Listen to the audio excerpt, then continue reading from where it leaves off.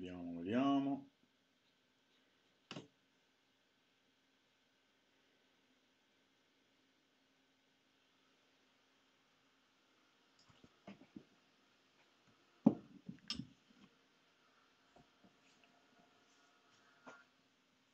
Uno. Si sente uno?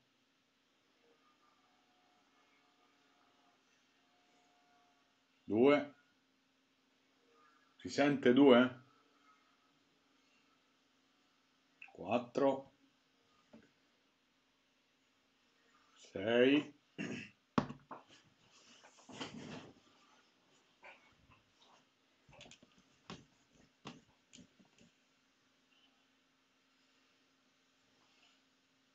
10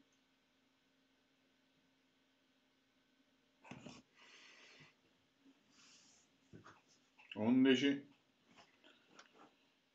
Allora, mancano poche lezioni, cari ragazzi. Perfetto. Allora, eh, si sente che significa se sentite dei trapani fuori dalla mia finestra non è colpa mia.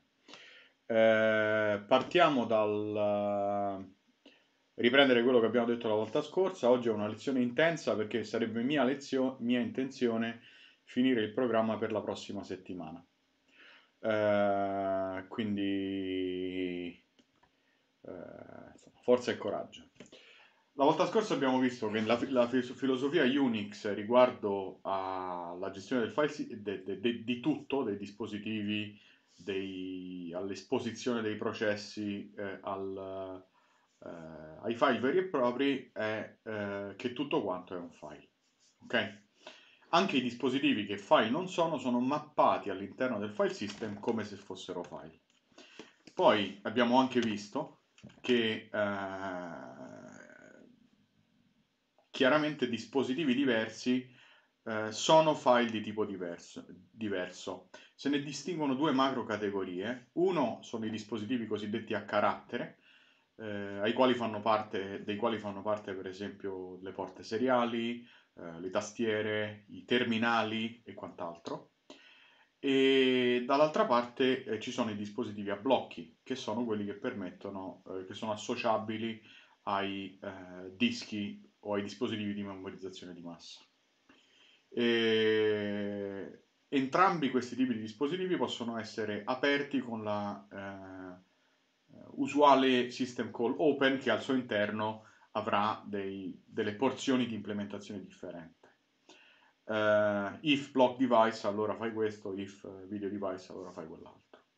Eh, queste due categorie di dispositivi offrono delle interfacce eh, diverse, leggermente diverse però per quello che riguarda l'accesso. Per esempio sarà normale fare una SIC, uno spostamento all'interno di un dispositivo a blocchi, sarà normale chiedere a un dispositivo a blocchi dammi 512 byte, sarà meno normale chiedere a una tastiera dammi 512 byte. Ok?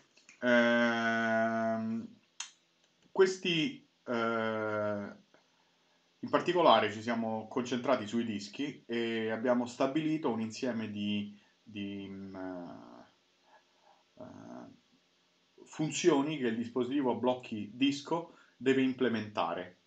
Eh, chiaramente non è il disco che le implementa, ma è eh, un modulo del kernel, il driver del disco, che si occuperà di fornire lato kernel, quindi lato sistema operativo già scritto, una serie di chiamate a funzioni che implementa un'interfaccia che poi a sua volta eh, viene ehm, eh, implementata da, eh, viene, si traduce in un insieme di comandi per un dispositivo hardware. Normalmente abbiamo anche visto che i dischi sono dei dispositivi che funzionano in DMA. Eh, da una parte abbiamo il controller del disco che è una, uh, un dispositivo elettronico che riceve una, all'ingresso una richiesta di uh, letture o scritture di blocchi e che uh, in uscita manda sostanzialmente un'interruzione eh, quando ha finito il trasferimento. Nella richiesta uno ci mette anche eh, la zona di memoria in cui il disco deve copiare la roba. Eh, ok, ho ricevuto un messaggio in chat, appena ci arrivo, eh, Giorgia, ti, ti, rispondo alla tua domanda. Adesso sto facendo il recap. Eh, dicevo, mm, quindi abbiamo visto, e, e, questo permette di avere eh, un trasferimento che è concorrente con l'esecuzione della CPU. Quando noi andiamo ad avere, abbiamo un file system montato, inserito sul disco, in realtà noi abbiamo una struttura dati che è persistente nella memoria del disco che um, eh, implementa un'interfaccia, però è un'interfaccia di tipo diverso, non è un'interfaccia driver, è un'interfaccia verso il file system. Quindi possiamo immaginare come il nostro sistema operativo stratificato in cui abbiamo a basso livello, a livello più basso, abbiamo il driver del disco che esporterà verso il sistema operativo un'interfaccia coerente con tutti quanti i dischi e con tutti quanti i dispositivi a blocchi. Poi sopra, ad un livello superiore, abbiamo un altro modulo che si occuperà di interpretare le informazioni scritte sul disco in maniera eh, coerente con la convenzione che abbiamo scelto per scriverci da di dentro. In particolare un file system è un modo di scrivere delle meta informazioni, dei, dei, dei dati riguardo alle, alle, cartelle, ai file, oltre che al contenuto dei file stesso. E abbiamo visto che eh, ci sono diversi tipi di file system che tipicamente vengono, eh, tipicamente sulle macchine moderne, vengono riconosciuti all'atto della mount. Quindi quando uno inserisce un pendrive nel computer succedono un sacco di cose. Quando inserisci un pendrive, come prima cosa parte una chiamata al tuo, uh, cioè si sveglia il controller dell'US- dell'USB che dice al kernel, lei è stato inserito un nuovo uh, modulo USB. Il kernel allora far, farà partire una procedura di, di identificazione che capirà di che tipo di dispositivo USB abbiamo inserito, se è un mouse piuttosto che un pendrive. Nel momento in cui, eh, e questo viene fatto ricevendo una string, cioè invoca, chiedendo che dispositivo sei in maniera eh, uniforme, cioè mh, seguendo un certo protocollo dell'USB. Il dispositivo risponde con il suo identificativo, l'identificativo della sua classe, a quel punto il kernel può, se ce l'ha, caricare un device driver che esporta un'interfaccia di più alto livello per accedere a quel dispositivo e non attraverso dei comandi USB di basso livello. È possibile anche interagire con l'USB con comandi di basso livello, però export, export in quel caso dirà ok, esiste un driver di dispositivo che si mappa su un dispositivo a blocchi, nel caso in cui sia un pendrive, e ti offre il dispositivo a blocchi. Quando inserisci un Arduino, il kernel riconosce che si, si, tratta di un dispositivo FTDI, ovvero un convertitore USB seriale, e ti produce un'interfaccia USB eh, seriale creando un dispositivo apposito. Nel caso del disco siamo fermi al, alla creazione, all'instaziazione del giusto device driver. A quel punto abbiamo la possibilità di leggere e scrivere sul disco come se fosse un gigantesco filone, ok? Un gigantesco array persistente. Ma non è tutto, perché a questo punto entriamo nel merito delle informazioni che sono state memorizzate sul disco e bisogna capire di che tipo, come sono fatte, quale protocollo è stato scelto per scriverci le informazioni dentro. È diverso se io monto un disco VFAT piuttosto che se monto un disco, disco X2, perché no, non sono compatibili i due formati, sono due formati diversi, due modi diversi di scrivere le informazioni.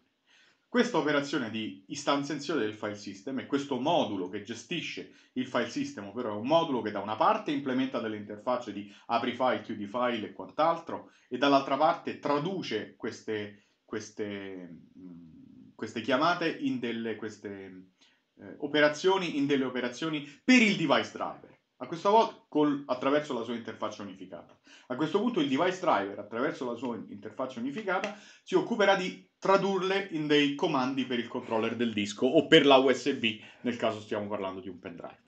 Ok? Eh, questa operazione avviene naturalmente nel momento in cui noi facciamo una mount. Adesso, eh, per esempio, forse c'ho un pendrive qua. Fatalità, ho anche un pendrive perché ne sono provvisto. Vediamo un attimo cosa succede quando uso un pendrive. Adesso faccio the message, chiedo the message, vedo il log del kernel, qua mi dice un sacco di cose, vabbè, ah questo è OBS che, che, che tenta di fare cose strane, però AppArmor gli impedisce di fare le cose, di message. Ancora, eh? Persiste questo. Vabbè, mi tengo OBS, vediamo se... Niente.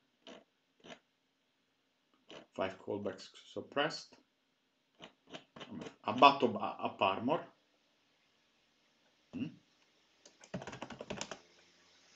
questa è la CPU che si sta scaldando. Oh, finalmente ha riconosciuto il mio controller del disco. Dice, oh, sono successe cose. Cosa è successo? Ho trovato un nuovo high speed device. Figo, ho trovato un nuovo high speed device. Questo è il controller del disco che si sveglia.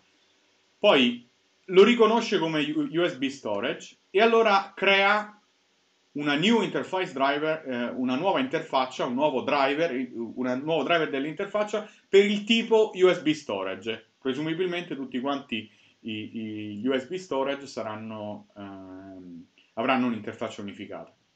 A questo punto l'ha riconosciuto e poi non mi ha detto, detto, molto altro. Perché? Perché forse perché non l'ho montato. A questo punto provo a montarlo. Eh, dice un sacco di cose, eccetera, eccetera. Vediamo se lo trovo questo disco. Lo apro. L'ho aperto. Vediamo che cosa mi ha detto sempre cose, ancora. No, non mi ha detto niente, però l'ha montato. Eh, lo vedo nei mount.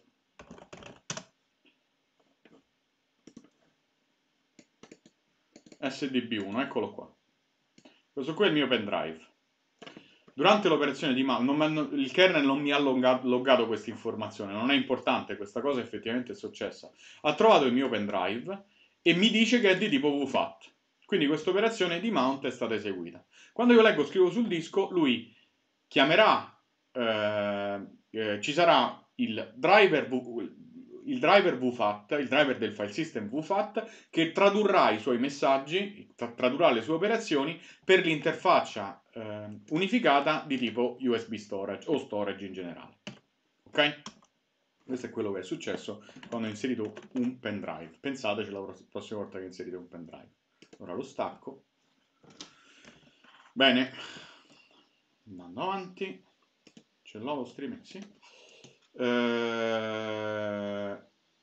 un file system quindi è una classe astratta che si implementa determinate cose e fa rollback sulla ehm, cioè fa rollback, esegue delle operazioni sul, um, sull'interfaccia del device driver.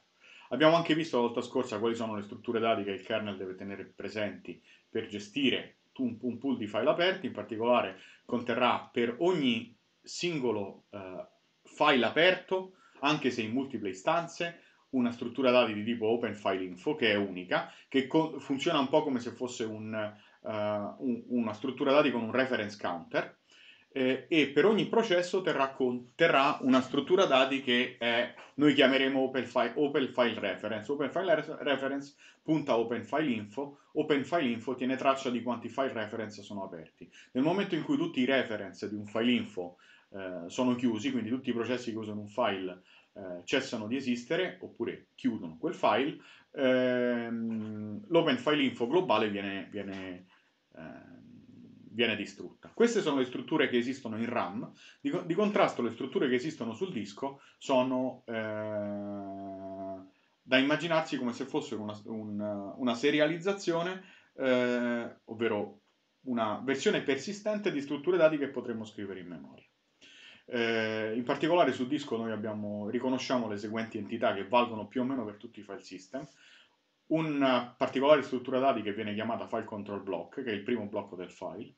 Riconosciamo una struttura dati, eh, un, un, particolare tipo di file che chiameremo directory, eh, che possiamo immaginare come se fosse un record di eh, entry ai file, in cui ogni entry è un puntatore ad un file presente nella directory e, e possiamo immaginare un file come se fosse una sequenza di blocchi su cui sono memorizzate le informazioni de- di quel file sul disco. Perché parliamo di blocchi? Perché i, i dispositivi eh, di storage tipicamente leggono e scrivono a, ehm, eh, ad una certa granularità a una granularità di blocco. Poi abbiamo visto la volta scorsa eh, quali sono le, le, le, cose che dobbiamo fare nell'implementare un file system e quindi nel decidere come memorizzare i dati su disco. La prima è come organizziamo i file, come scriviamo i file su disco, con quale politica, come scriviamo i file su una directory, quindi come organizziamo una directory e come ehm, allochiamo lo spazio su disco. Queste sono delle domande a cui dobbiamo rispondere nel momento in cui implementiamo un file system eh, per, e possiamo valutare le nostre scelte ehm, come si dice, valuta, benchmarkandole non è una parola giusta, e, eh, val, possiamo uh, stabilire la qualità delle nostre scelte valutandole uh, in base a dei parametri come uh, la lettura e scrittura continua oppure la lettura e scrittura randomica scattered. Abbiamo già visto la volta scorsa che cosa sono. Dobbiamo tenere presente anche le caratteristiche del dispositivo fisico che, che abbiamo sotto.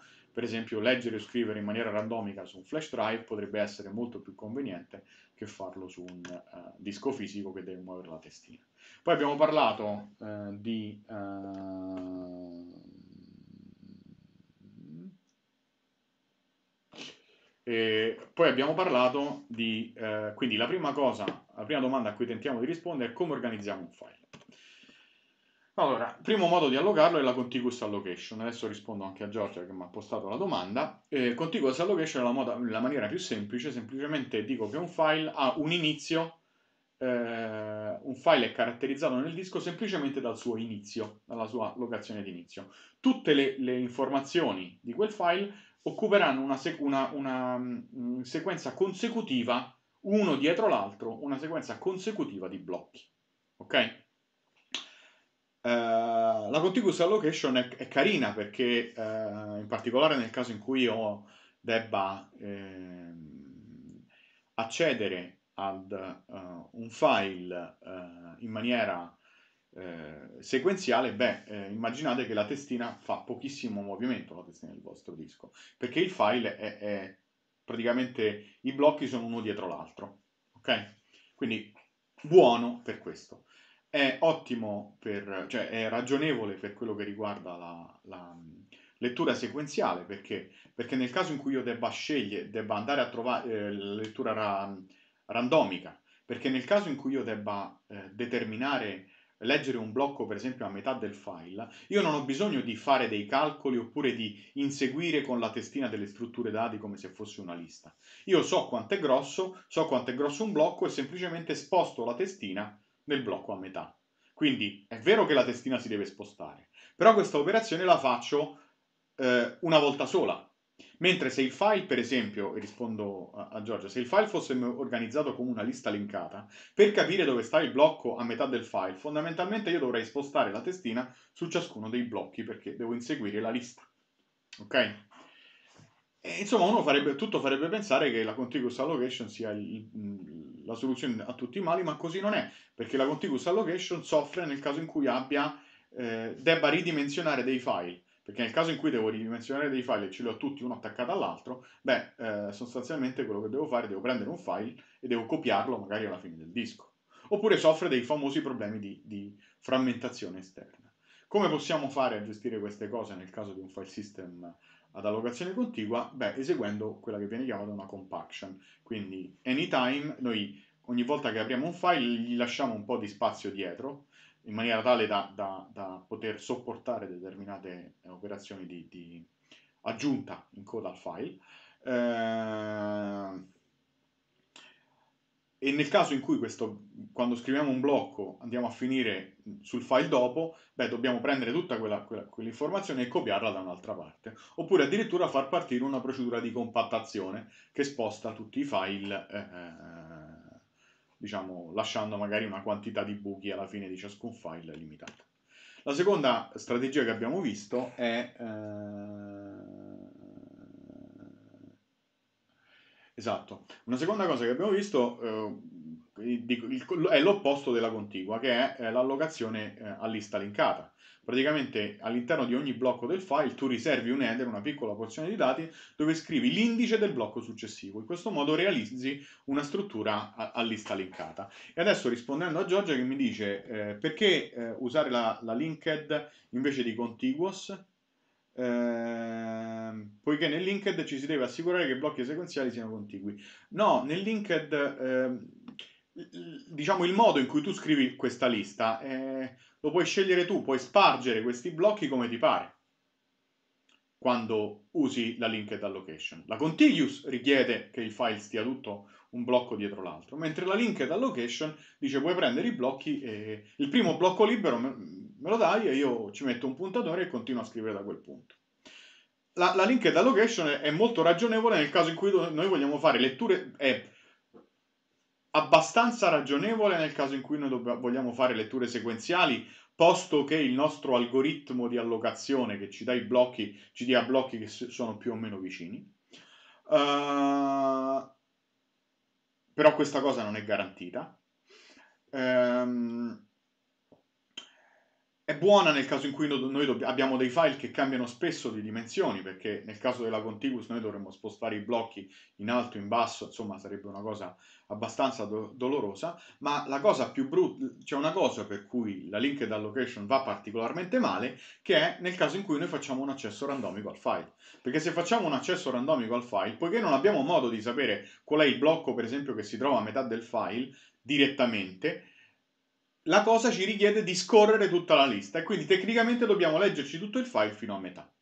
Ed è per questo che la, la, la file, la linked allocation soffre nel caso in cui vogliamo fare degli accessi scattered e nettamente, inferiore alla, eh, alla contiguous allocation. Poi ci sono de, delle strategie un pochino più, più, moderne, che sono, la prima è la, la, la file allocation tab, table, la FAT, quella che avete visto anche quando ho inserito, inserito il pendrive, che eh, descrive la struttura sequenziale di, dei blocchi che appartengono a un file in un disco, riservando in testa al disco una porzione di memoria che la possiamo vedere come se fosse un array, um, un array list, in cui nella posizione i c'è eh, l'indice del blocco, del blocco successivo al blocco i. Quindi Uh, in questo caso, assumendo che un file incominci al blocco 217, lui continuerà al 618, cioè vado, vado nella FAT, leggo in locazione 217 618, vado nella FAT in locazione eh, 618 e leggo 339, quindi questo è, è il blocco successivo, eh, a 339 leggo niente, quindi il mio file sostanzialmente sarà grosso 3 blocchi, 618, eh, cioè 217, 618 e 339. Ok? Quindi quello che faccio è sostanzialmente una, una allocazione scattered, cioè un'allocazione a lista, quindi questa è qui, la, la FAT è equivalente a questa lista qui, da un punto di vista di distribuzione dei, dei blocchi sul disco, però mi dà il vantaggio di tenere in una sola parte del disco, perché questa tabella qui è mo- memorizzata in testa al disco, uh, tutti i successori. Quindi se io devo trovare qual è un file, qual è il blocco a metà del disco, è sufficiente che guardi sulla FAT non devo guardare sul... Uh, non devo guardare, non devo scandirmi questa lista, perché io ho questo array già memorizzato in testa al mio disco. Uh, nella diretta... Eh? Uh, sì, più o meno sì, Giorgia.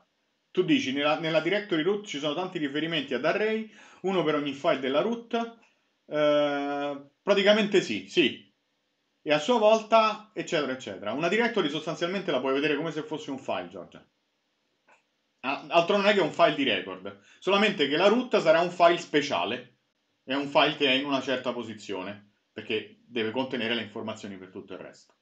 Infatti la, la, la directory principale del disco ha una locazione ben specifica che magari è leggibile direttamente dalla FAT. Poi se la directory principale del disco ha una dimensione molto grande, bene, spannerà su più blocchi come se fosse un file. Ok, quindi la FAT sembra una cosa abbastanza ragionevole perché? Perché tutti i blocchi entrano fondamentalmente, cioè la FAT è relativamente piccola rispetto al disco. Se considerate che un blocco del disco sono 4K, in una FAT ce la caviamo con 64 bit a blocco, ok? Quindi con 8 byte a blocco, sostanzialmente riusciamo a tenerla con le macchine di oggi quasi tutta in RAM, ok? E un'altra cosa carina della FAT è che implicitamente questa tabella codifica la struttura dei blocchi del mio disco, perché in questa tabella se io ho dei blocchi che non appartengono a nessun file, magari ci scriverò meno uno e quindi dentro a questa tabella io so automaticamente quando devo cercare un blocco libero guarderò dentro questa tabella un blocco che dentro c'è scritto magari meno uno. Ok? Uh, comunque, diciamo, eh, e questo è il, è il modo DOS, il modo tradizionale di memorizzare i file eh, sul, eh, sul, DOS o su, sui suoi derivati. Poi abbiamo NTFS che è un altro paio di maniche, però assomiglia molto a un file eh, system indicizzato.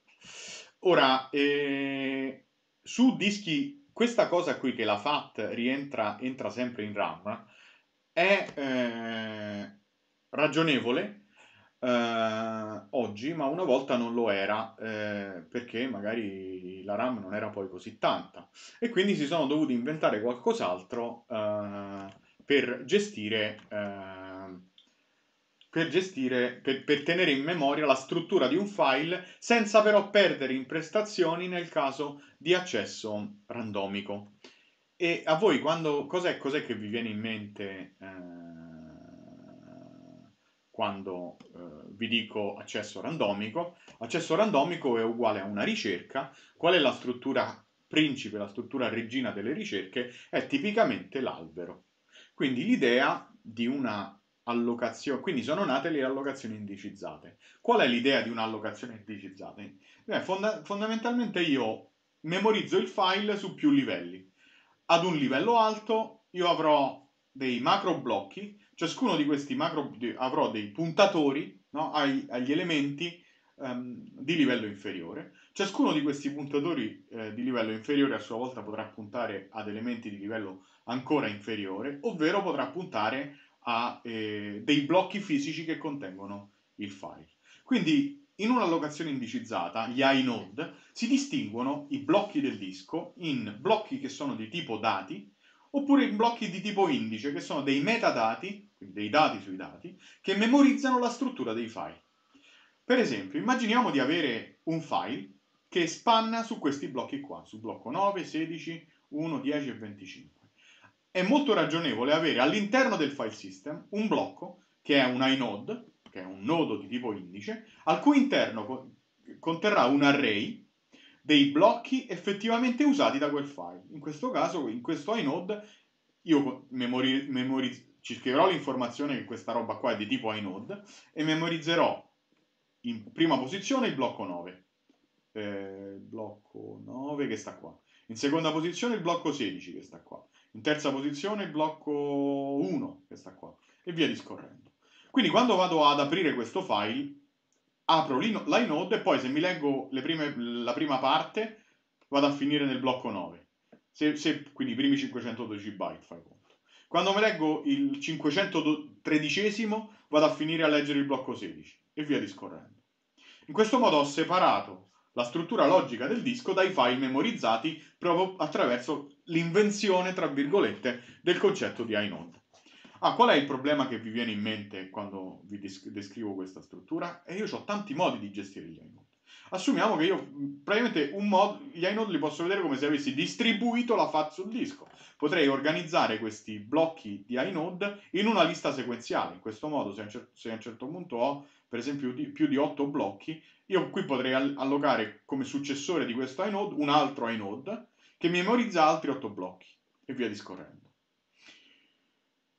Beh, di fatto sto solamente, nel caso di accesso, di, di accesso randomico, quello che dovrò fare sarà scandire prima la lista degli inode, prima la sequenza degli inode, e poi a partire per trovare un certo blocco, e poi andare a trovare eh, l'indice del blocco e leggermi il blocco corrispondente.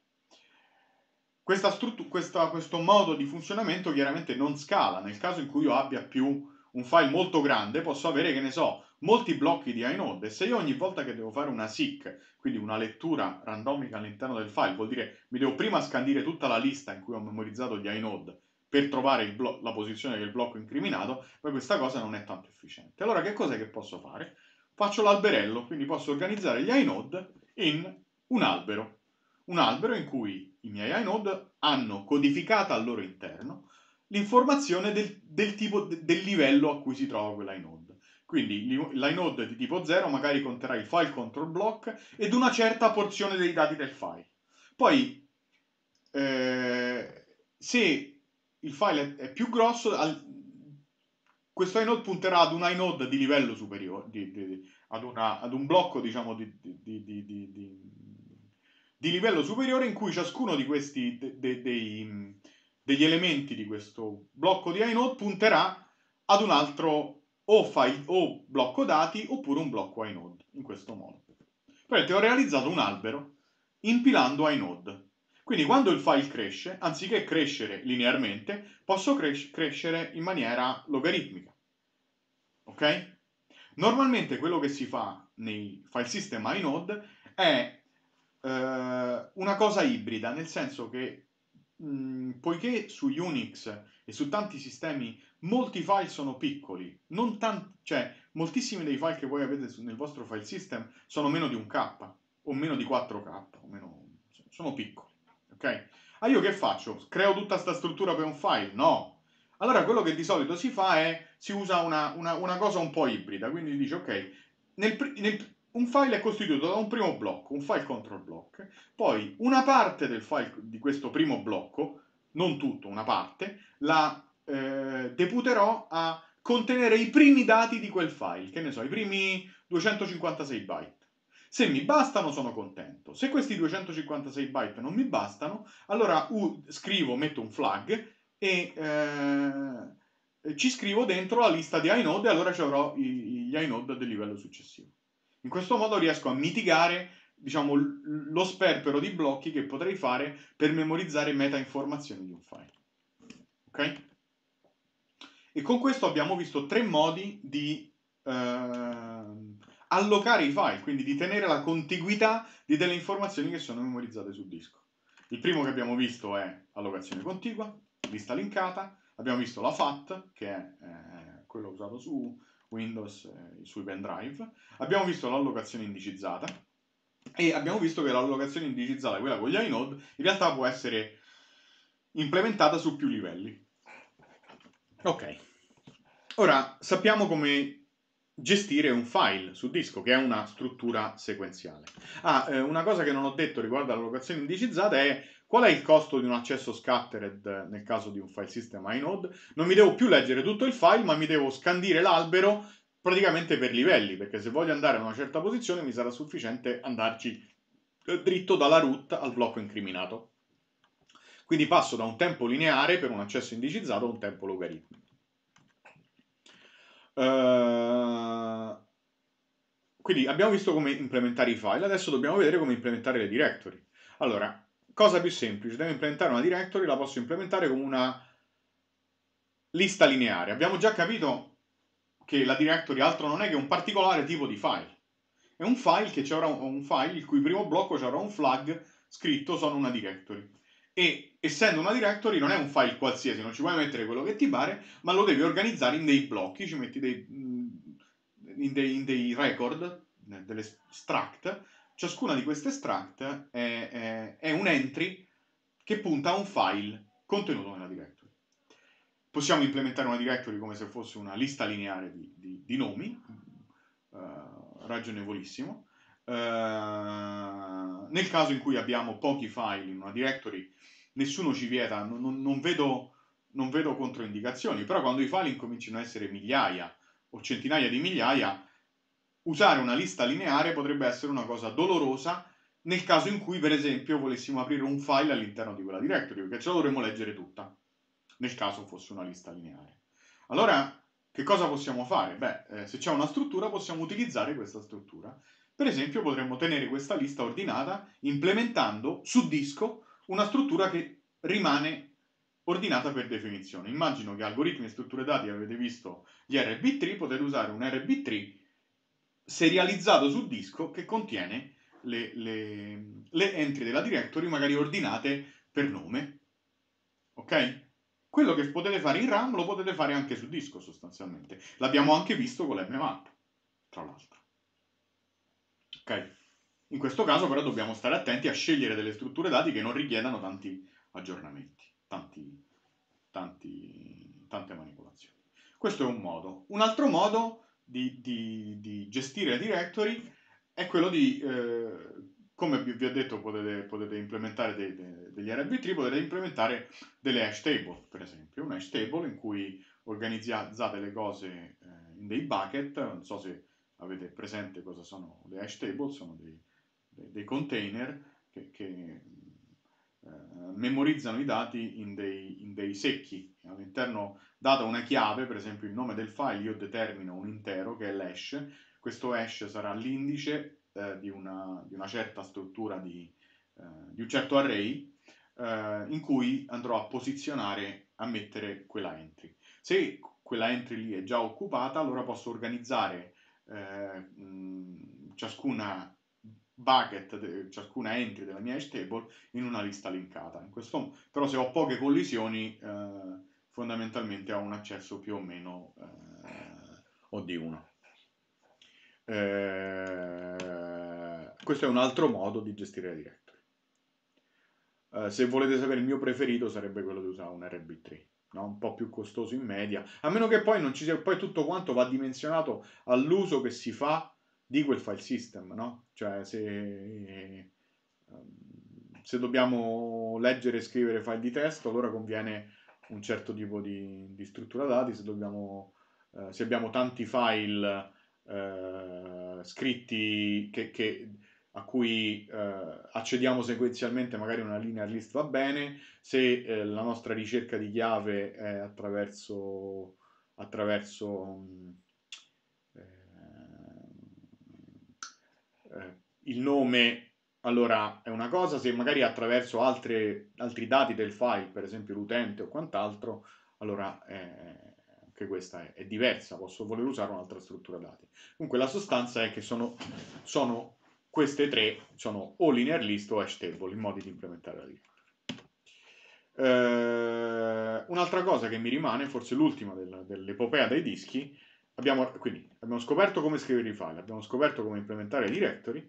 L'ultima cosa che ci rimane è eh, manipolare lo spazio libero. Bene, quando chiediamo al disco o quando creiamo un file, dobbiamo ottenere dal disco o dal disco, dobbiamo guardare nelle nostre strutture dati e dare, dargli una, una regione eh, di memoria libera. Ora, eh, Questo lavoro noi lo possiamo fare tranquillamente eh, utilizzando una linked list e utilizzando uno slab allocator. Per esempio potremmo tenere in testa al disco, in maniera simile a quello che fa la FAT, una lista di, fa- di, di blocchi liberi. Anzi, non sono sicuro, ma penso anche se io dovessi implementare la FAT, userei un particolare file che chiamo il file 0, che è il file che è costituito da tutti i blocchi liberi. In questo modo io ho una, una, una sequenza di blocchi liberi a disposizione. Però usando, usare uno slab allocator direttamente magari non è tanto buono per quello che riguarda eh, il disco, nel senso che uno slab allocator alla lunga mi dà tanto, immaginate, prendi un blocco, dammi un blocco, prendi un blocco, dammi un blocco, mi può dare luogo a, ad una distribuzione di nuovi blocchi che è molto mh, sparsa sul, sul, sul, vostro disco. E questa cosa qui sappiamo che non va bene per niente, non va bene per, le, per i file eh, allocati, cioè mh, non, non, non, non, va bene fondamentalmente per, per, eh, nel, caso, nel, caso, generale perché leggere un file comporterebbe eh, che la testina si sposta un, un, sacco di volte. Anche se noi usiamo un'allocazione, anche se noi utilizziamo un'allocazione indicizzata o un, un'allocazione di tipo FAT. Perché? Perché eh, anche se usiamo un'allocazione di tipo FAT, in questo caso la testina si deve spostare di tanti posti tra un blocco e l'altro, mentre, mentre nel caso di allocazione continua si sposterebbe di meno. Ripeto, oggi come oggi queste considerazioni vanno un pochino eh, svanendo perché si tende ad usare eh, dispositivi di memorizzazione tipo SSD che eh, permettono di fare un, un, cambiamento di blocco pressoché, pressoché istantaneo, che è molto più veloce perché non ci sono par- parti meccaniche in moto. Comunque, io queste cose le devo raccontare e le racconto. Quindi lo slab è un modo. Quello che di solito si fa è eh, che si tiene all'interno del disco una bitmap che, eh, in cui ogni bit di questa bitmap corrisponde a un blocco del disco, non ogni byte, ogni bit. In questo modo è molto compatta. Dice perché uh, si fa questo? Beh, considerate che questa bitmap può stare interamente in RAM e può essere scandita alla velocità della luce, cioè molto velocemente, perché con una, uh, con una lettura io riesco a, veri- a, a, leggere per esempio 128 bit, cioè, magari i vostri processori se hanno SSE lo fanno tranquillamente, riescono a leggere un sacco di bit alla volta e quindi riesce a trovare molto rapidamente qual è un blocco libero, cioè dei bit che sono o a 1 o a 0 se un blocco è libero occupato. Però questa tenere la bitmap mi permette di visualizzare non solamente quali sono i blocchi, i blocchi liberi, ma di visualizzarne anche la contiguità e in questo modo magari potrei scegliere nel momento in cui prendo un blocco da disco di, di, di, mm, di offrire uh, per esempio il un blocco libero abbastanza grande, non un blocco, un blocco puzzo che subito dopo ce n'è un altro, perché se poi quel file cresce mi trovo, mi trovo a dover fare un altro jump in un'altra locazione. Ok? Quindi la bitmap mi dà un'informazione strutturale. E con questo ho finito con i dischi. Un minuto di pausa e poi partiamo con i device driver. Se avete domande scrivetele sulla chat con i device driver, con, uh, con le IPC e poi i device driver.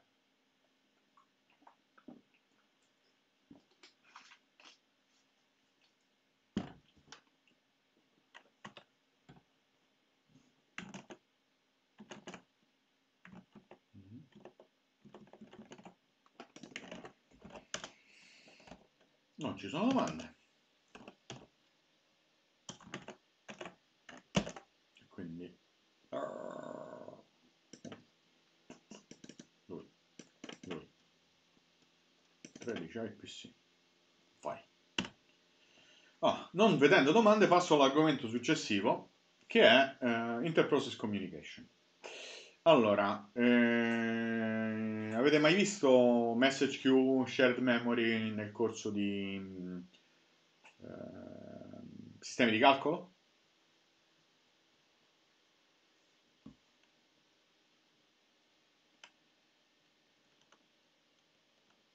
Vabbè, intanto che rispondete, diciamo cosa sono le APC. Le APC stanno per Interprocess Communication. Allora, I progettisti di Unix, prima, molto prima della rete, si erano resi conto che i processi dovevano comunicare tra di loro. E per far comunicare dei processi, eh, il, i primi sistemi mettevano a disposizione dei meccanismi che si chiamano interprocess communication. Tecnicamente anche sul sistema che state facendo girare adesso è pieno di IPC. Una macchina che funziona interamente basata su, IPC, per esempio, è il vostro web server, e ve lo faccio vedere.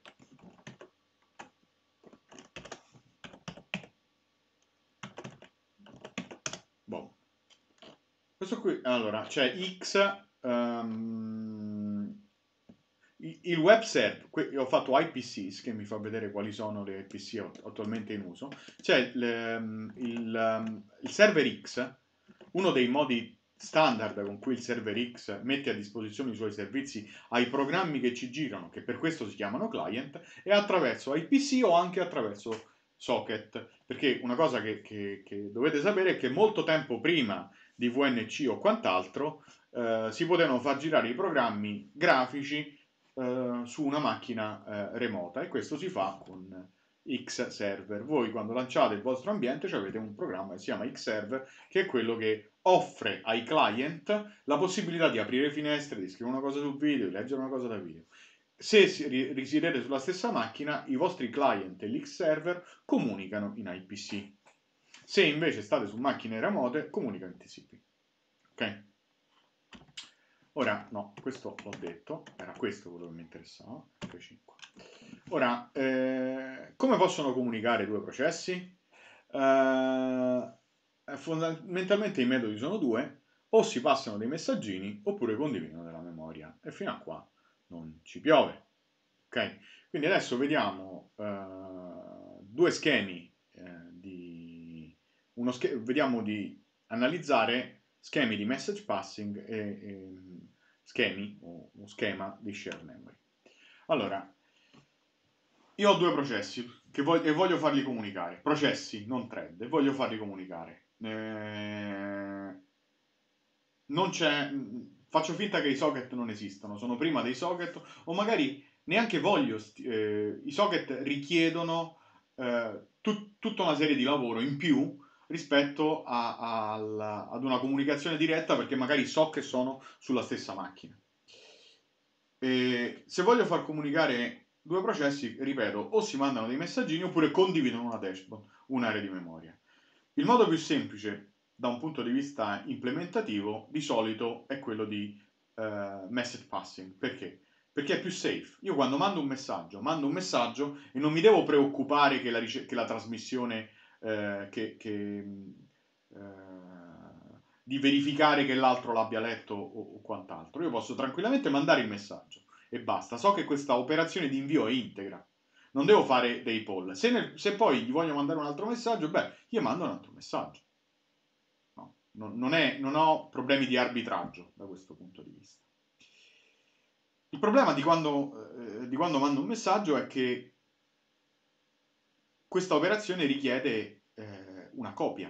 Tecnicamente passare un messaggio significa che io prendo della memoria di un processo, la copio, per esempio, dentro della memoria del kernel, che per recapitare questo messaggio lo copierà, farà una terza operazione di copia e copierà questo messaggio al destinatario. Ok? Quindi message passing è bello, è fico, però eh, è, è, è meno efficiente di magari condividere della memoria. Ok? Immaginiamo per esempio che io debba abbia due processi, eh, uno che legge dalla telecamera e uno, che, eh, uno che, che, legge la telecamera e offre dei messaggi di tipo immagine e un processo che legge questi messaggi di tipo immagine e li visualizza sullo schermo. Okay?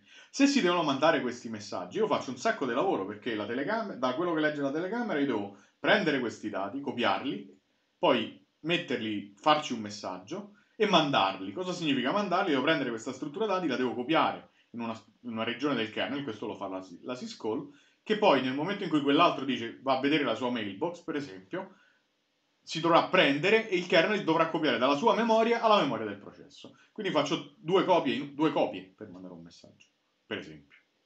Ne potrei fare anche una sola, però comunque c'è un'operazione di copia. Ok? Eh, di, di contro ciò che nel momento in cui mando il messaggio non me ne frega niente di quello che succede poi. Quindi i due processi possono um, essere efficientemente disaccoppiati. Quali sono però delle opzioni? Eh, ci sono diversi schemi implementativi e quali schemi implementativi troviamo nel message passing? Beh, prima di tutto, quando mandiamo un messaggio, noi possiamo mandare un messaggio eh, direttamente ad un processo. Quindi un processo ha sua un suo apparato di ricezione di messaggi è solo suo, ok? È, nessun altro processo può leggerci dentro. Quindi, e, e, e quindi eh, eh, se questo processo muore, chiaramente muore anche, muoiono anche tutti i messaggi che sono stati inviati a lui. Vengono, vengono buttati. L'alternativa è quella in cui crea un terzo attore, crea l'attore mailbox, cassetta della posta, nella quale chiunque può scrivere, per esempio, oppure un certo insieme di, di, persone, di, persone, autorizzate possono scrivere e un certo insieme di persone, di processi autorizzati possono scrivere e un certo insieme di processi autorizzati possono leggere. Quindi o ho la, la, la, l'invio e ricezione diretta, oppure ho eh, l'invio diretto eh, su PID, sul processo, oppure ho l'invio su mailbox. Ugualmente posso avere una ricezione diretta oppure una ricezione su mailbox. Quindi la mailbox è un oggetto che deve esistere fuori per conto suo. E vi già anticipo che la mailbox può essere creata ed esistere nel file system. Questa è la prima cosa che posso avere. Poi, per quello che riguarda l'invio e la ricezione, io posso avere anche diversi comportamenti.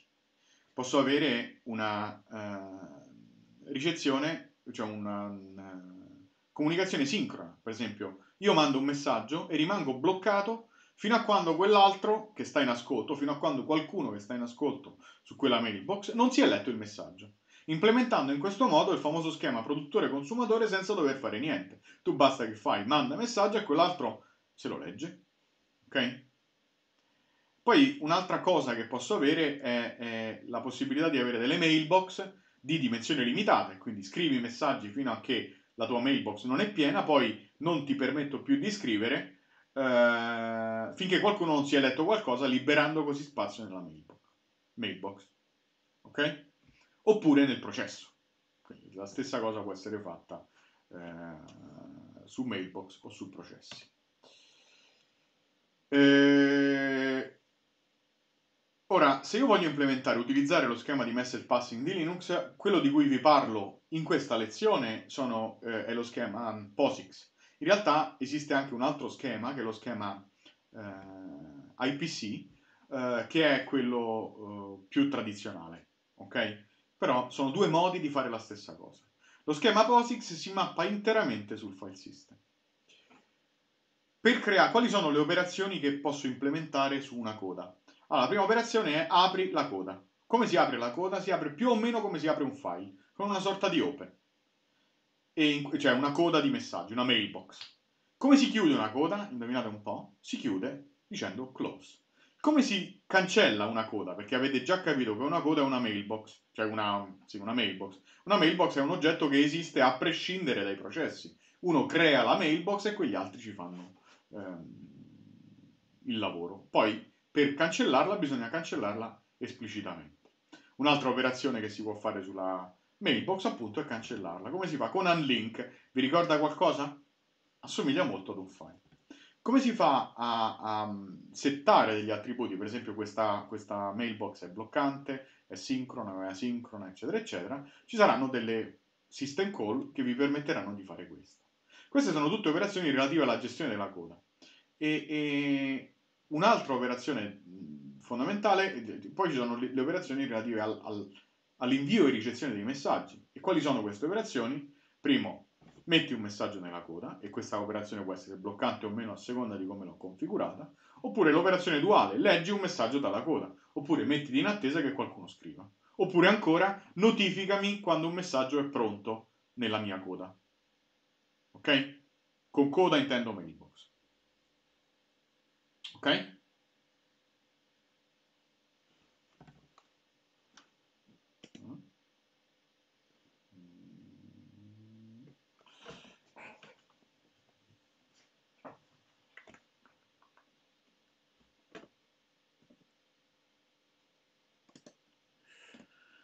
Ora, eh, come si implementano queste funzionalità? Indovinate un po', ci sono delle system call MQ, message queue close, message queue open, Message queue getAttr che ragionevolmente ti restituirà una struct con gli attributi, message queue notify che notifica eh, il processo quando la coda diventa non vuota, message queue receive, send, setAttr che è la duale di getAttr e message queue unlink, ok?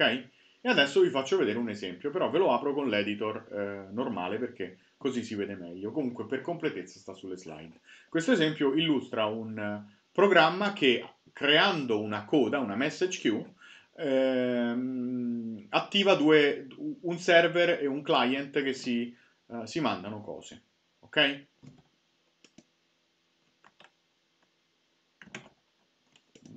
Fatto esca.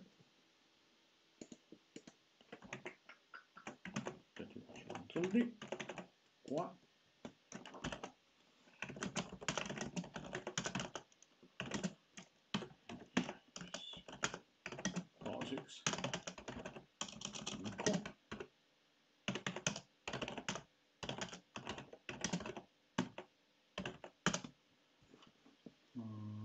Immagino vediate.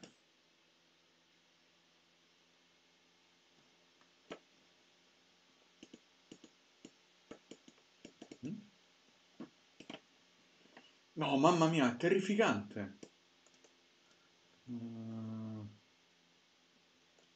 de- devo aver fatto una cosa terribile. Io, io questi font li, li elimino, cioè una cosa allucinante.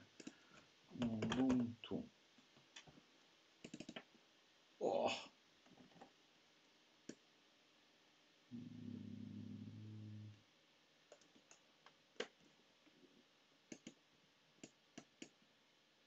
Mm, meglio, eh?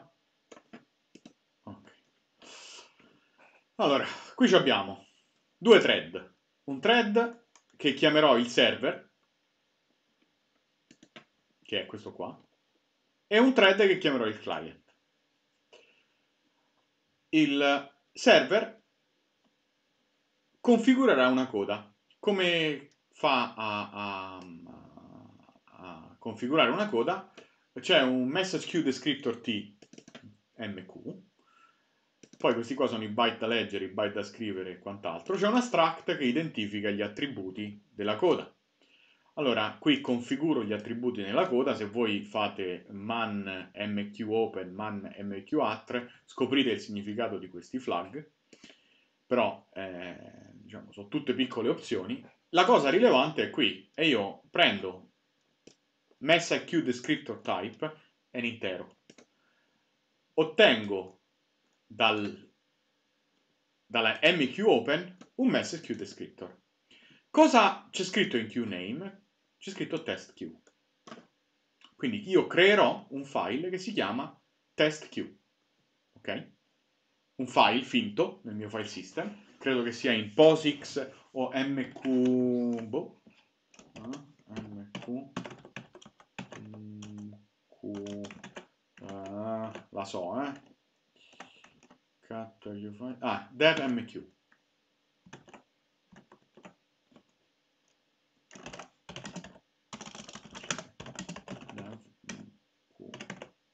Ok, qui c'è una directory nel vostro file system dev, l'hanno messa lì, che contiene le code di messaggi. Adesso io quando creo questa coda di messaggi, in questo punto, in quella porzione del file system voi troverete una cosa che si chiama test queue.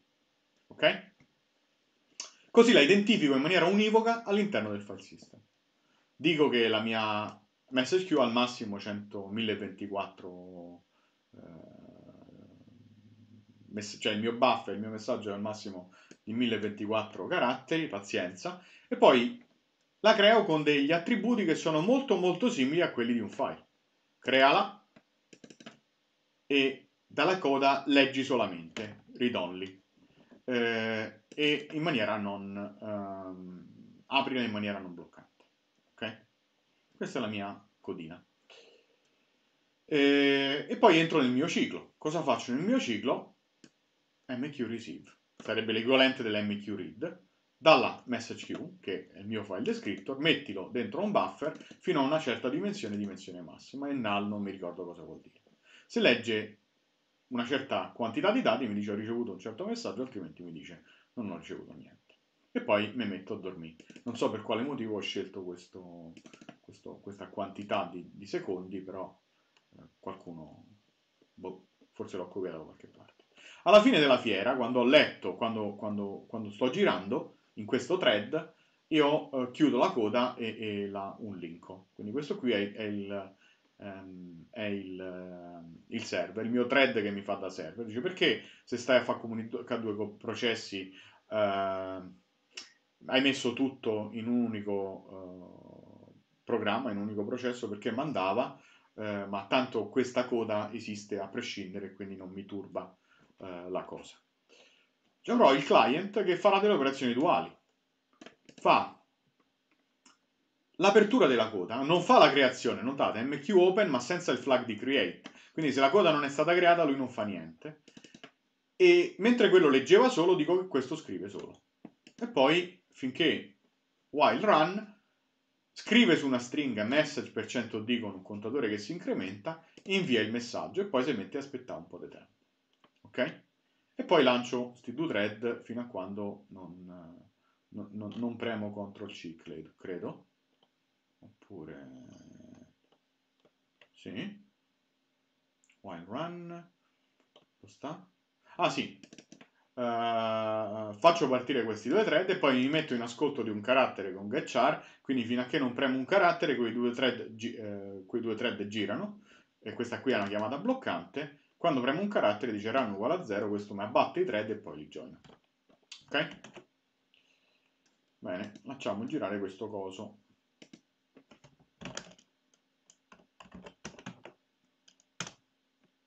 Ok, questo è il cliente, il server dice non faccio niente, non c'è niente, non c'è niente, non c'è niente, non c'è niente, non c'è niente. A un certo punto il client manderà il messaggio, perché sono due quanti diversi. Cioè questo qui aspetta questo tempo, mentre il server, questo è il server, aspetta questo tempo, mentre il client aspetta questo tempo. No, 7.33 07.25, quindi sono due tempi diversi. Ok? Pacifico. Quindi sappiamo come usare le code. Le code si aprono, ci si linka, ci si, ci si, se, se, due, se, uno apre una coda, eh, la apre in modalità lettura o in modalità scrittura, posso avere anche più processi che sono attaccati alla stessa coda. In questo caso, primo, quando leggi un messaggio, chiaramente lo consumi. Ok? E abbiamo scoperto le magie delle code. Ah, una cosa rilevante è, ma dove sta sta coda? Dev, sta qua, test coda.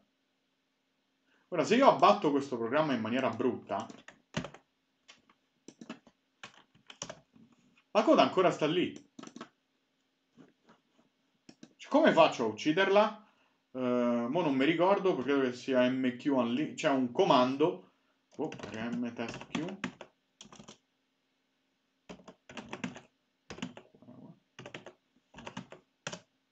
così.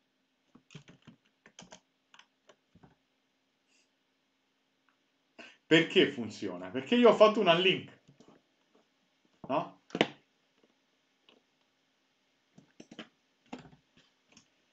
Ma la coda non esiste in nessun punto del mio file system. La coda è una cosa astratta. Bene, raccontato questo riguardo all'IPC, continuiamo.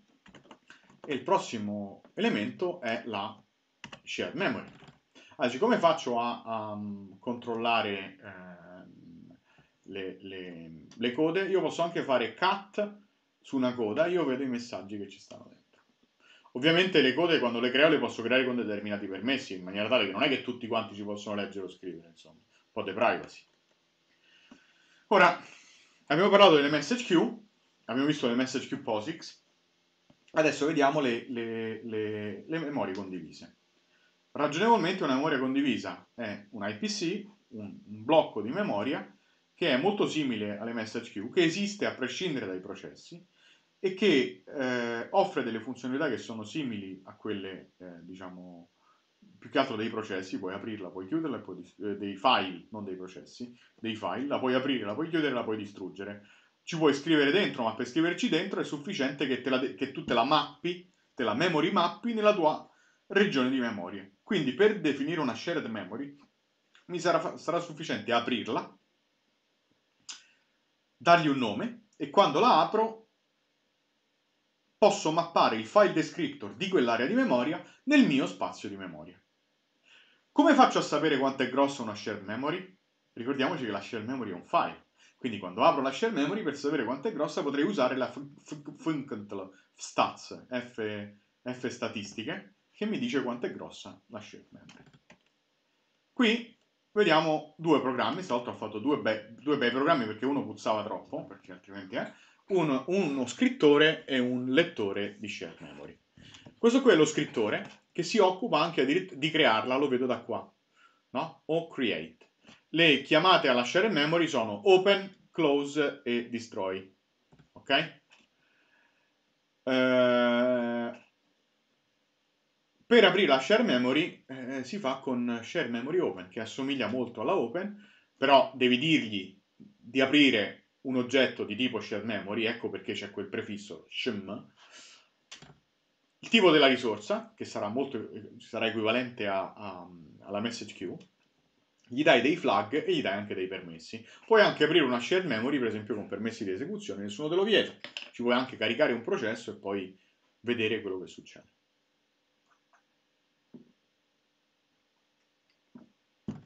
Ok? Potresti caricare un program file dentro a un'area di memoria e poi lanciare la exec magari su quell'area di memoria se c'è un modo di farlo. Eh, in quel modo realizzi una sorta di RAM disk, no? precarichi un programma in RAM. Eh, in maniera analoga alla open, se, eh, alla open dei file, se il file descriptor è minore di 0 le cose sono andate male. Poi devi ridimensionare la shared memory. Vi ricordate ftruncate? ftruncate. Stabilisce, setta la dimensione di un file. Come si fa a settare la dimensione uh, di una shared memory? Beh, sostanzialmente una shared memory è un file e quindi con ftruncate, ftruncate, tu stabilisci la dimensione dell'area di memoria. E poi in questo caso lui ci vuole leggere e scrivere, per leggerci e scriverci devi memory mappartela in corpo e quindi chiami una memory map. Su che cosa? Sul file descriptor della shared memory, che è fd. Ti sei mappato nel tuo spazio di memoria quella, quella shared memory e poi scrivi mondezza su questa shared memory ripetutamente perché fai delle sprintf sul buffer dove il buffer è l'inizio di questa shared memory area. Alla fine della fiera, dopo che avrai stampato per 100 volte eh, delle cose sulla tua share area, la unlinki, ti stacchi dalla, da, dall'oggetto share memory. Ovviamente l'unlink, poi fai la exit, questo smappa, distrugge tutta la memory map del processo e quindi fa anche l'operazione di memory unmap da sola. Questo è il lettore, lo scrittore dovrà fare più o meno le stesse cose, con la differenza che non la deve aprire in create, ma la deve aprire solamente in read write e mentre fa questo giro, mentre ci cicla sopra, eh, se questo scrive, quell'altro dovrà leggere. E infatti questo è il lettore. Il lettore apre, argvd1 è il nome della, della memory map, della, della cosa di memoria, la apre, mentre questo qua imponeva con f-truncate, imponeva la dimensione dell'area di memoria, so, io la creo e quindi io dico quanto è grossa, shmem size sarà il numero in byte dell'area di memoria, quest'altro apre questa shared memory e deve scoprire quanto è grossa, perché se io ci devo leggere, beh, se ce lo scrive è chiaro la devo ridimensionare, ma se ce devo leggere devo solamente sapere quanto è grossa. Come faccio a sapere quanto è grossa? Indovinate un po', chiamo la stat, che ti, ti riempie questa roba qua con dei dati tra cui ci sarà anche la size di quel file che in realtà è una, è una, una shared memory area. E poi eh, te la mappi in corpo e finché vivi stampi eh, quello che c'è dentro. Quindi lanciamo questo ottimo programma, anzi questa coppia di programmi e vediamo che cosa succede. Ah, e come faccio a sapere quali sono le share memory che sono attive? Vado a vedere dentro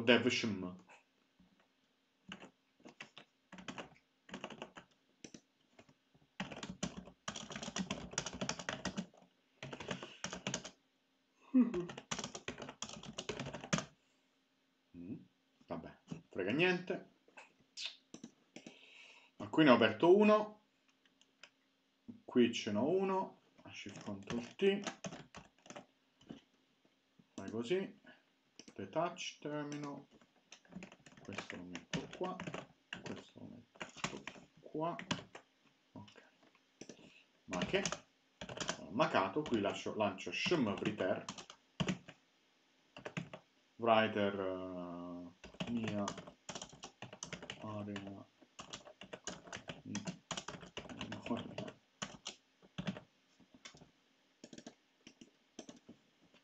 e l'ho creato. E qui lancerò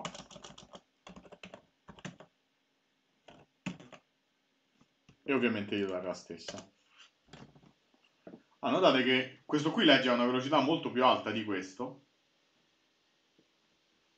perché l'avevo messo a almeno una frequenza più bassa, questo qua scrive e questo qua legge. Dice, ma perché legge? Mi fai vedere Giorgio dove legge? Sì, quello là che fa, while run, quindi finché non mi abbatti,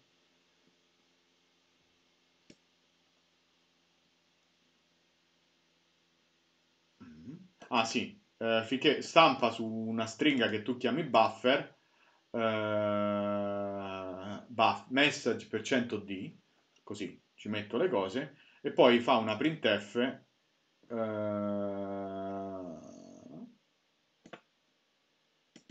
Ma, ma questa l'ha messa al Q, che sto lì?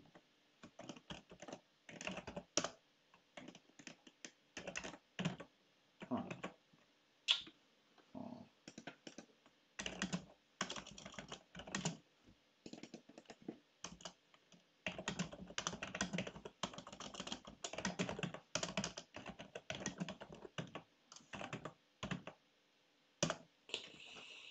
Eccolo qua. Ecco qua. Come fa? Lui stampa printf il buffer. Perché noi nel buffer con quell'altro ci abbiamo scritto. Siccome ci abbiamo messo uno 0 alla fine del buffer, lui sa che è la fine della stringa, si ferma e non legge oltre. Ci abbiamo messo lo 0 nella stringa, vediamo un po'. Anzi, ce lo mette da solo la sprintf. Quando scrivi su una stringa con sprintf, lui si occupa di mettere il, il, il trailing zero alla fine della stringa. Insomma. E abbiamo visto le shell Se avete domande, fatele ora o tacete per sempre. Adesso abbatto i miei shmen cose. Questo ha finito di leggere, sì. ls dev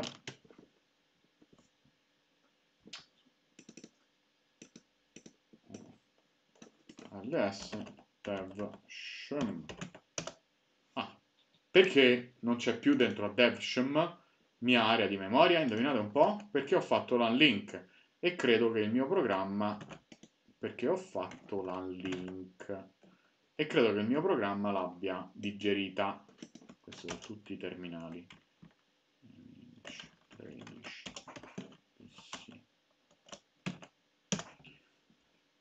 perché ho fatto l'uplink.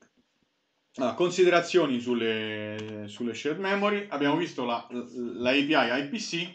Cioè avete un'altra directory che è System5, che è un altro tipo di, di, di uh, interfaccia per aprire uh, le code di messaggi che dichiara delle code di diverso tipo, che sono le, code, le famose code del System5.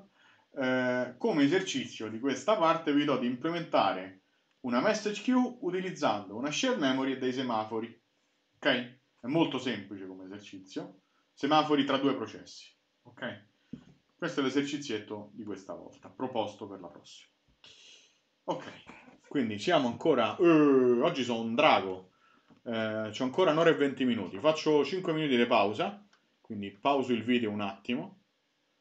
Eh, e... Oppure, se avete domande fatele Intanto io mi, mi, mi muto, faccio 5 minuti di pausa e poi parto sul resto della favola di oggi. Uh, come si fa la...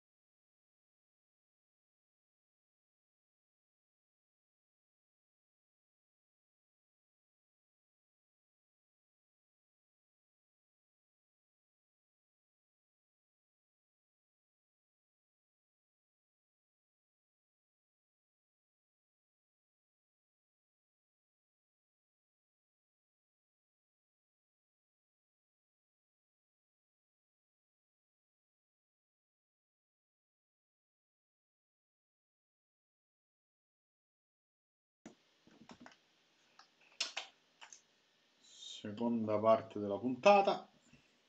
Devices.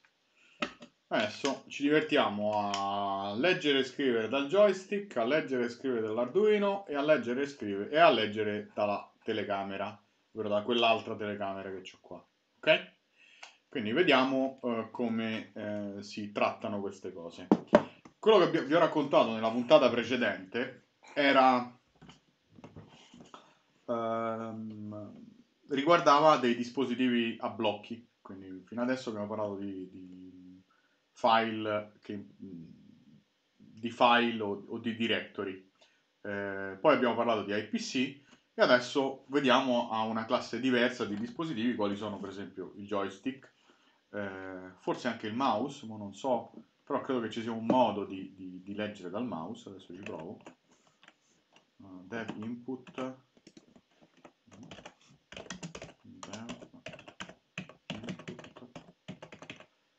mouse 0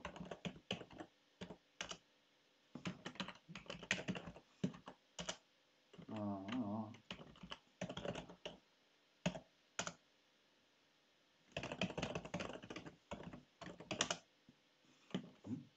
ah. imbecille. Mouse 0 no. Questo è il mouse 0 forse è il mouse 1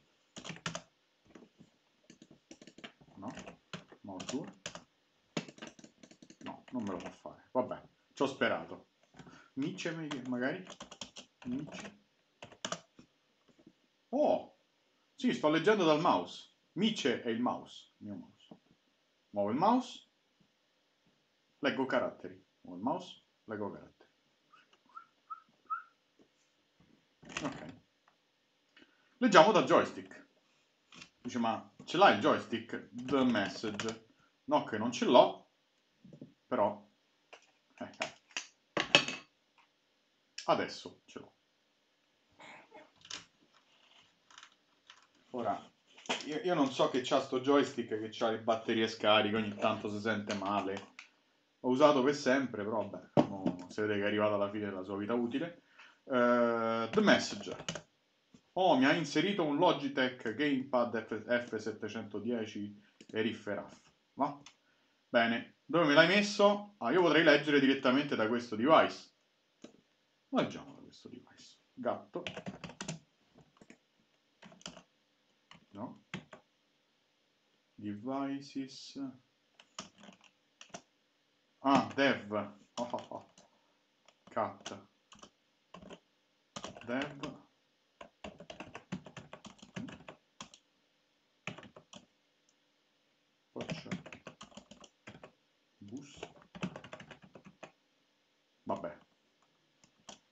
Io so che lui me l'ha messo su dev.js, dev input.js 0, ma non so perché mi dice questa cosa qua. Dove stanno PCI 000?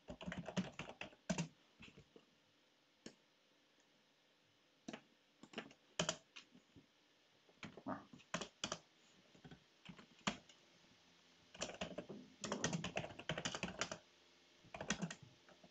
Bus.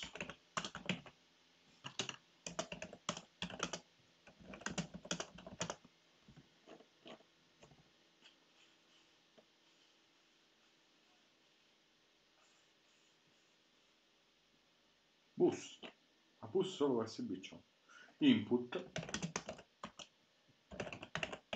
Ok se, se mai scriverete un driver eh, fate in modo che loghi anche il posto dove monta il device. Eh, un modo è andare a vedere by path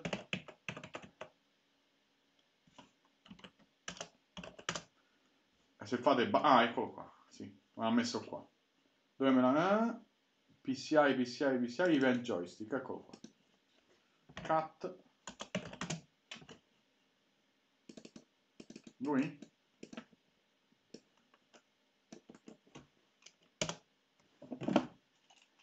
Adesso sto muovendo il joystick, solo che è un po' triste. Oh. oh, un po' meglio. Un po' meglio del solito. Di solito si comporta peggio. Lo vedete che devo usarlo questo dispositivo? Vabbè.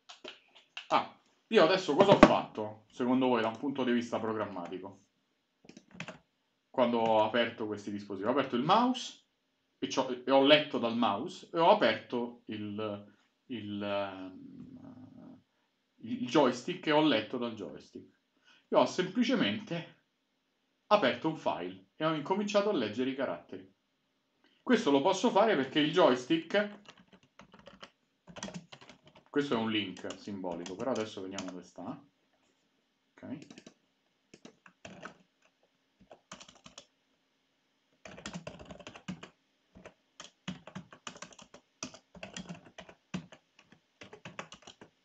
Adesso sto inseguendo il link simbolico.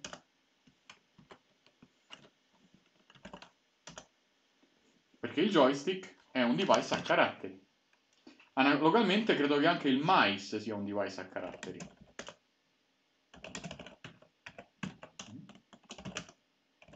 Input. Mice. Quindi io posso leggere da un device a caratteri. Come posso leggere da un device a blocchi? Di fatto cat altro non fa che apre un file e poi fa printf a manetta leggendo da quel file. Ok. Ora, eh, a parte le schede video che sono un po' particolari, non so come sono mappate, però sono un pochino particolari, credo, le schede video, non ce l'ho qua una scheda video, sì, c'ho net, però a parte le schede video che sono, le schede video, scusate, le schede di rete che sono dei device un po' particolari, in linea di massima tutto il resto eh, proprio ci leggete e ci scrivete in questo modo. Ora, eh, vi ripeto che più o meno tutto è un file. Eh, vi ho già parlato del, del, DMA in maniera estensiva ehm, prima.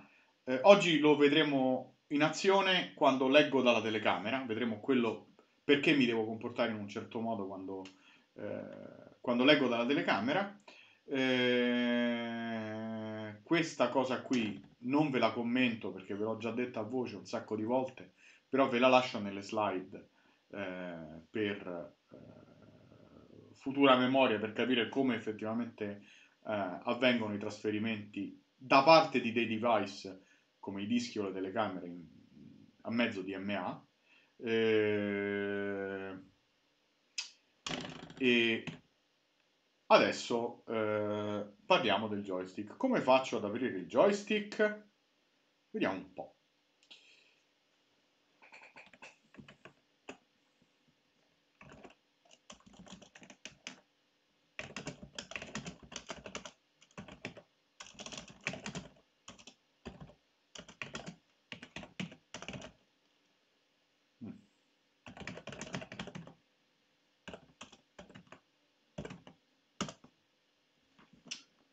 Allora, voglio fare un programma che legge il joystick. Innanzitutto devo conoscere il device del joystick e l'ho identificato. In realtà, a forza di usarlo, so che il mio joystick si trova su dev input js0 perché ci sono un sacco di alias che vengono fatti. dev input js0 check. Quindi però se magari ho più joystick voglio sapere, voglio poter leggere da uno piuttosto che dall'altro. Apro il file. Fa una piega? No. Vedo se quel file effettivamente esiste. Anche questo è ordinaria amministrazione. E poi, questo è interessante, lo leggo a bot distract JS event. Eh, cos'è un JS event? È una struct. Vediamo un po'.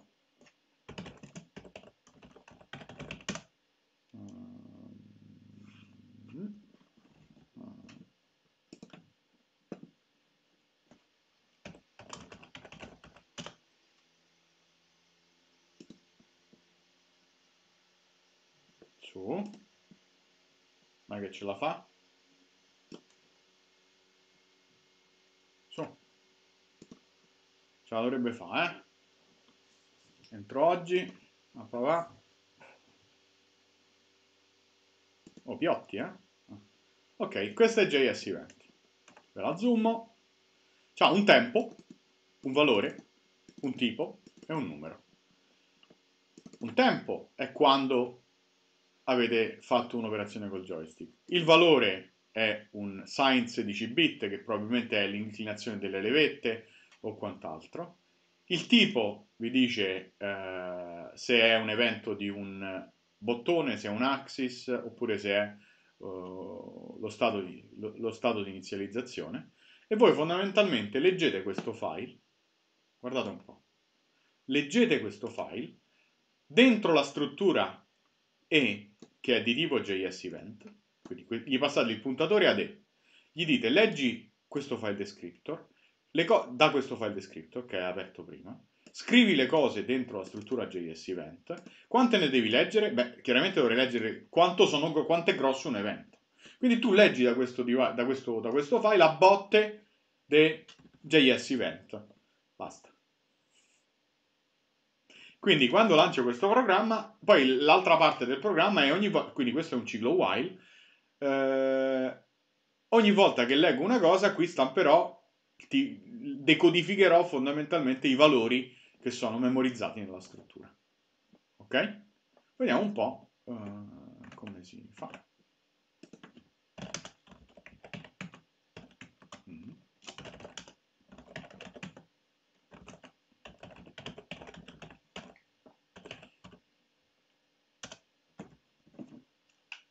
Mm. Ripeto che ho il solito problema de, de del, del, del joystick che è poco reattivo. Ok, meglio. Adesso sto muovendo un asse del joystick, vedo che è l'asse 1, adesso vado nell'altra direzione.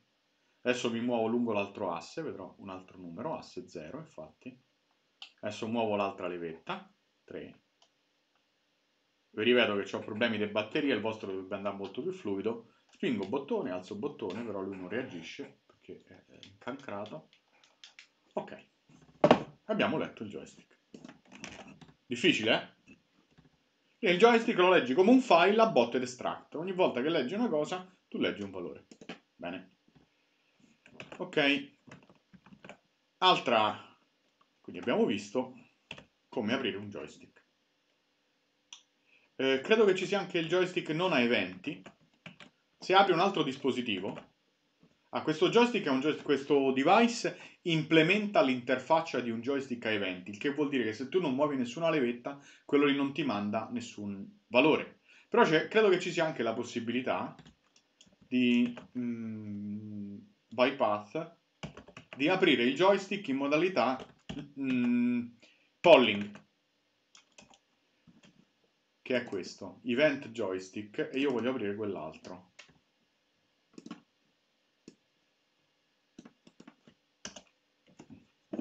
Vediamo se funziona meglio. No. Ripeto, non so quanto, quanto sia rotto il mio, il, mio, il mio joystick perché è proprio malato. Ok. No, vabbè. Raga, riprovo con joystick meno malato. Comunque, questo è il joystick. Adesso vediamo uh, l'altro caso, il caso porta seriale. Ora, la porta seriale, anche questo è un ottimo file, no?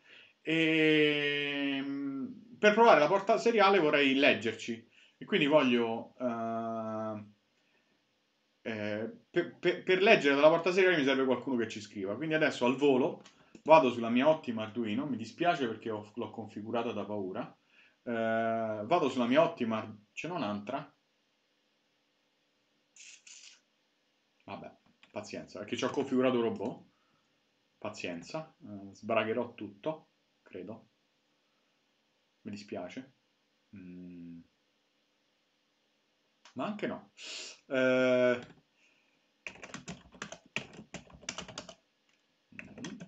Source 04 AVR info AVR intro abbiamo LO AVR credo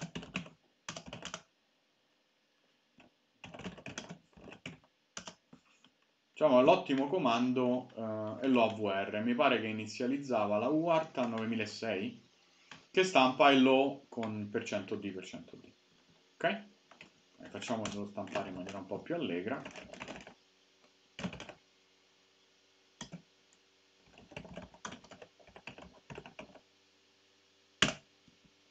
Ho flashato la mia buona Arduino. A questo punto posso immaginare che la mia Arduino mi stia spammando sulla seriale cose.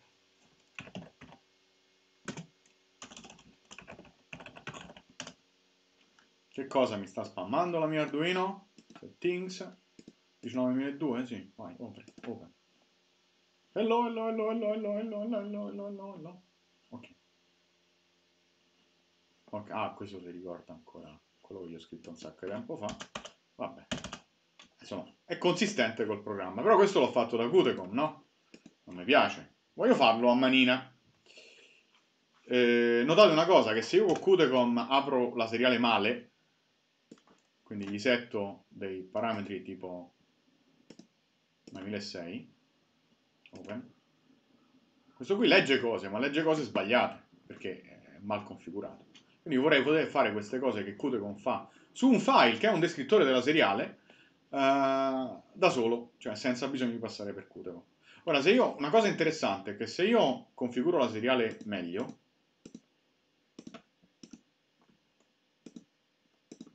19.2 come l'avevo configurata su, su, Arduino. Poi chiudo Qtcom in maniera bestiale e faccio gatto cat dev tty acm0 ecco mi sparo in bocca perché non succede niente. Perché forse me l'ha chiusa questo maledetto. Open. Poi adesso ti tabatto così. Oh, oh.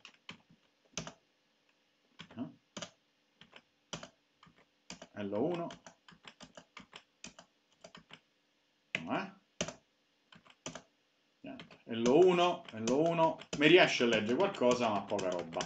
Anche perché credo che stampare poca, troppo poco su cioè a frequenza troppo bassa però sopravviveremo. Ora eh, la sostanza è che per gestire la seriale c'è una cosa la seriale tradizionalmente cos'è sui sistemi Unix? La seriale era quella porta attraverso cui venivano connessi i terminali esterni. Quindi tanti anni fa i terminali non erano, eh, c'erano proprio i terminali, cioè c'era un computer solo che aveva una sola CPU e, e, la sua memoria, poca tipicamente, e poi c'erano tante persone che usavano questa poca memoria e questa poca CPU. E come la usavano? La usavano da dei videoterminali, che erano dei, dei, dei, dei computer, dei terminali stupidi che avevano un controller del display che era capace di stampare solo caratteri e che una tastiera che mandava solo caratteri. Erano connessi, nominato un po', con una porta seriale. Hence, quindi, le porte seriali sono tradizionalmente associate a dei terminali. Ok?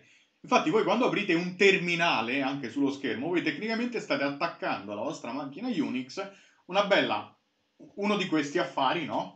Grossi con la sua tastiera e con il suo video quando aprite un Xterm o un, una shell sul, sulla cosa. Noi diciamo apriamo una shell, no, tu apri un terminale, dentro al terminale ci fai girare una shell. Ok? Eh, bene, eh, tutte queste configurazioni, siccome ci sono tante le configurazioni della seriale, la, la, parità, non la parità, il numero di bit, il non numero di bit. Eh, ricordiamoci poi che sono sempre terminali, quindi c'è la possibilità di anche muovere il cursore su questi terminali. Eh, sono incapsulate dentro l'interfaccia che si chiama Termios. Ora, è una cosa nauseante andare a vedere eh, i Termios, ma è una cosa comunque terminal, control, get attr, set attr, eh, eccetera, eccetera. Sono è un'interfaccia che basandosi su un file descriptor di una porta seriale o di un terminale, anche i terminali su cui voi scrivete, no? Sono dev pty uh, dev pty questi sono i terminali che io ho adesso attivi sulla mia macchina. Se io premo una particolare combinazione di tasti, per esempio CTRL ALT F2, non lo faccio perché sennò eh, vi chiude il video, però io swap, switcho su un terminale in modalità testo e ce n'hai un certo numero. Eh, sì, eh, questi sono i terminali virtuali ai, ai, quali ti connetti anche con i tuoi Xterm o con altro. Ok? Uh, E come li controlli questi dispositivi di tipo terminale? Con la struttura dati Termaios. Ora, in questo frammento di programma, barely visible, vi faccio vedere come si usano i termi OS, ma si usano come tutti gli altri uh, affari di Linux. Fondamentalmente tu dirai, dato questo descrittore, mi dai tcgetAttr, mi dai gli attributi di questo terminale e lui dentro a questa struttura dati ci scriverà dentro. Poi ci scrivi dei campi, cf set, uh, set, o, set o speed è come un setter, quindi setta dentro la classe, dentro la struct tty il campo speed. Non so, credo che ci abbiano fatto delle funzioni perché delle volte quando setti una velocità sono più i punti che tu devi modificare, allora hanno fatto una funzione che fa tutte queste operazioni insieme. Quello che fai in questo caso è, è, è configuri una seriale con questa roba qua. Come? Parti dal descrittore della seriale che già devi avere aperto, ti prendi i parametri dentro una struttura thermaios.tty, che adesso vediamo meglio, e poi si può zoomare, immagino. Uh, no. Aspetta, zoom, perché ce l'ho qua.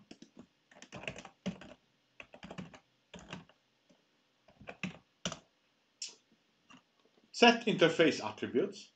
Prende un file descriptor, prende una velocità e prende una parità. Assume che il descriptor sia aperto. La prima cosa che fa è dichiara una struttura dati termaios, che sarà una struttura dati che contiene tutti i campi di quel TTY, in particolare di quella seriale. Poi dice, eh, dammi gli attributi, scrivimi gli attributi, se non ci riesci, male. Poi, in funzione della velocità che ti ho dato qua, gli assegni, assegnerai al campo speed una certa velocità. Ovviamente deve essere una delle velocità consentite dal tuo UART. È per questo che su Linux ci sono delle macro, cioè non esiste 19002, esiste B19002 che magari vuol dire qualcos'altro, esiste B11520 che magari vuol dire qualcos'altro. Se ci avete un Arduino, io, lo, io sono riuscito a pompare la mia fino a, a, a un mega, un megabit al secondo, fino a questa, questo numero qua. Ovviamente anche dall'altra parte dovete fare mh, le stesse cose. Ah, sono sicuro che sicuro riuscite a pomparla fino a questa velocità. Non sono sicuro che riusciate a mandare... Eh, questa e questa dipende dalla qualità dell'implementazione. Comunque. Questi sono 20k al secondo. Ok, eh, dici cose, poi setti eh, la velocità di ingresso e di uscita, dove? Sempre sulla struttura dati TTY, eh? Sempre qua. Qua sei fatto dai dati e qua ci scrivi dentro roba. CF make row significa non c'è un terminale, non, non basarti sul carriage return. Setta la parità, setta il fatto che tu hai 8 bit di dati e un bit di stop, sono tutti parametri magici, ma insomma, qua fai la get e qua fai la set attr. TCS now significa applica questi cambiamenti immediatamente e questo qui farà il suo lavoro. Se vuoi settare la, la, la, la, seriale in modalità bloccante, perché può anche essere in modalità non bloccante, come per esempio era gatto prima, se vuoi settare la uh, seriale in modalità bloccante, dovrai presumibilmente riprenderti gli attributi che sono in termaios e settare per esempio il blit, un, cert, una, un certo insieme di campi, bit fondamentalmente, a, eh, a, a, a 1 se, se vuoi che, che lui blocchi e poi glieli rimposti. Sapere quali campi settare e come settarli è veramente un'arte. Ok? Se volete realizzare per esempio un terminale che non aspetta, un programma che non aspetta la lettura la pressione dell'invio per leggere un carattere è su, de- su, su Termaios che dovete operare. In questo modo potete per esempio realizzare, credo di averlo fatto da qualche parte, un programma che, che, che uh, apre, apre, la cosa e per esempio può, può funzionare in modalità joystick con, senza bisogno di, di, di, premere invio dopo aver spinto freccia su o freccia giù. Ok? Ah, queste sono delle, una, una comoda micro libreria che vi ho messo a disposizione, apri la seriale, setta l'interfaccia e set blocking. E vi ho fatto anche un programma, set uh, serial test, test serial, no, come l'ho chiamato? Serial, serial example. Sì. Indovinate come funzionerà. Fico apre, cioè, apre un file name ad un baud rate interpreta i parametri, apre il file descriptor, setta il baud rate utilizzando quella funzione là che ho, ho wrappato dall'altra parte che probabilmente chiede i terma IOS e setta quant'altro, poi setta la serialità in modalità bloccante e poi si mette a leggere i caratteri ricevuti, in questo caso io li stampo come 02x, tanto per, in modalità esadecimale perché prima l'avevo provato con robot, quindi eh, con, con l'Arduino caricata con un diverso firmware e quindi me la tenevo. Però se la voglio stampare eh, in modalità più grezza, la posso stampare così. Per 100C.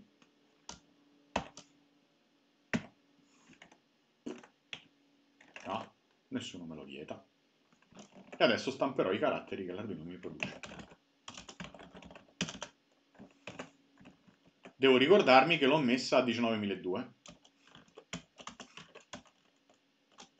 Ah, devo tornare al posto di prima, che erano i device driver. Serial example. Dev t1 eh, 19.002, no? Hello! E adesso leggo dalla mia seriale quello che leggevo da, dal comunicatore carino detto CuteCom. Ok? Se voglio scrivere la stessa cosa, no? Potrei fare una write. E in quel caso la Arduino si leggerebbe i valori della seriale. E abbiamo scoperto un'altra cosa. Adesso... Uh, l'ultimo pezzo della lezione Mazza, sono, sono efficiente oggi. L'ultimo pezzo che vediamo oggi è abbastanza interessante, è come aprire la telecamera. La telecamera è un dispositivo abbastanza doloroso, nel senso che eh, ha un alto throughput, trasmette un sacco di dati. Non solo trasmette un sacco di dati, ma tu li devi anche leggere in tempo, ok? E, e, e non vuoi in linea di massima perderti troppi frame. Ha Linux, ah, intanto la telecamera esiste ed è un file. Partiamo da, da, dall'asso da. Poi eh, è un device talmente particolare rispetto ad altri device eh, perché, per esempio, ti permette di settare dei parametri come la risoluzione o, o, o il, il, numero di bit per pixel, vuoi averla in bianco e nero piuttosto che vuoi averla a colori un'immagine, oppure vuoi averla compressa in JPEG, oppure vuoi averla uh, plain, no? raw si dice l'immagine. Insomma, ha tanti, tante caratteristiche, oppure qual è il frame rate di questa telecamera. Quindi ti offre tutta una serie di capacità da una parte e dall'altra parte um, di, di, di, di, possibilità di settare dei parametri, e dall'altra parte può essere interrogata riguardo per esempio al fatto che supporti o meno una determinata risoluzione. Quindi abbiamo una parte di configurazione della telecamera, di un device, e dall'altra parte abbiamo una parte di eh, gathering, di, di ottenere le immagini. Nel momento in cui vogliamo ottenere le immagini, l'interfaccia Video for Linux vi permette di fare una cosa, vi permette di dire al sistema operativo in quali buffer, in quale posto di memoria lui andrà a scrivere l'immagine letta dalla telecamera. Quindi quando farai, dopo aver aperto il file della telecamera, dovrai configurarla e dirgli ok, da questo momento in poi fammi streaming e fai streaming su questo buffer. In realtà fa anche un'altra cosa, fa una cosa in più. Non ti dà, tu per, ti permette questa interfaccia, questo sottosistema, non di dare un singolo buffer, ma di dargliene un ring, un, un anello quindi gli dai die- so, 4, 4 posti dove scrivere immagini e lui scriverà a catenella. In questo modo non è bloccante, in questo modo magari mentre lui scr- sta scrivendo un'immagine tu puoi accedere all'immagine che ha scritto prima. Ok? Per mappare questo buffer chiaramente dovrai usare un mmap. Quindi tutta una accedere alle telecamere vi comporta di usare delle um, chiamate a funzione speciali che funzionano solo sulla telecamera. Ma non ho mai detto che tutto è un file, ho detto che tutto è un file, ho detto anche che c'è Video for Linux, ma ti dico anche che per comunicare con un device speciale di cui conosci l'entità, tu puoi usare una system call magica che si chiama la IOCTL, che sarà quella system call attraverso cui noi andremo a configurare la telecamera, prima di, prima di usare le API di Video for Linux. Ok? E vediamo un po' quello che succede quando si... Quindi ricapitoliamo, vi, vi dico un attimo quali sono i passi per aprire una, uh, una telecamera. Apri il file della telecamera e quello è facile, lo sappiamo fare. Sarà una open. La seconda cosa che devi fare è chiedi al, al, al, al device driver, che è il file, ehm, usando la IOCTL, di restituirti, di riempirti una struttura dati che contiene le proprietà supportate da quella telecamera. Per esempio, se è in grado di fare uh, streaming, se è in grado invece se è una telecamera one shot o quant'altro. Quindi apri il device e, e vedi un po' che roba è. Poi, se supporta le funzionalità che tu vuoi che supporti, devi preparare i buffer e il DMA per il trasferimento. Li, quindi li allochi, allochi della memoria su cui poi dopo verrà scritta la roba. In realtà il DMA avviene dentro al kernel, ma poi il kernel te li copia tuo, nel tuo spazio. O forse anche no. no. Ehm, richiedi, a quel punto richiedi al device, al, al, ehm, al device, device, driver di darti un certo numero di buffer che sono quelli che poi verranno copiati eh, nel posto. E poi incomincia a catturare, incomincia la cattura. La cattura ogni volta scriverai su uno dei buffer del tuo ring buffer che gli hai dato e ti dirà, ti, ti manderà, ti sbloccherà una, una select, ti sbloccherà una chiamata che tu hai fatto su un file descriptor per vedere quando è cambiato di stato alla fine della fiera dealloghi tutto e chiudi il dispositivo. Vediamo un po' quello che succede e quello che fa il nostro programma, che è qua.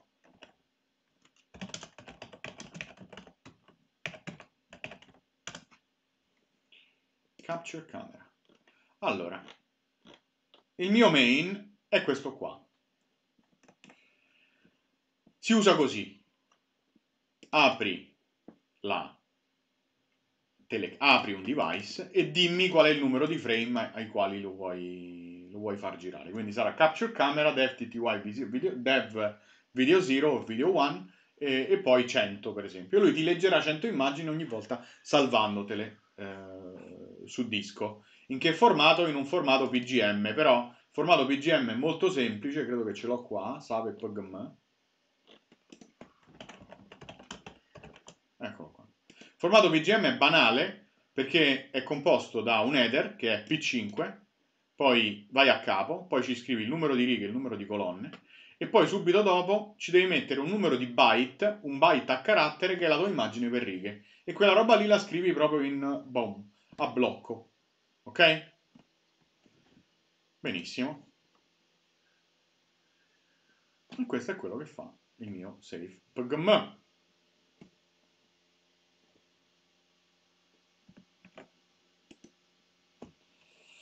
Ora, quello che fa questo programma è la seguente cosa.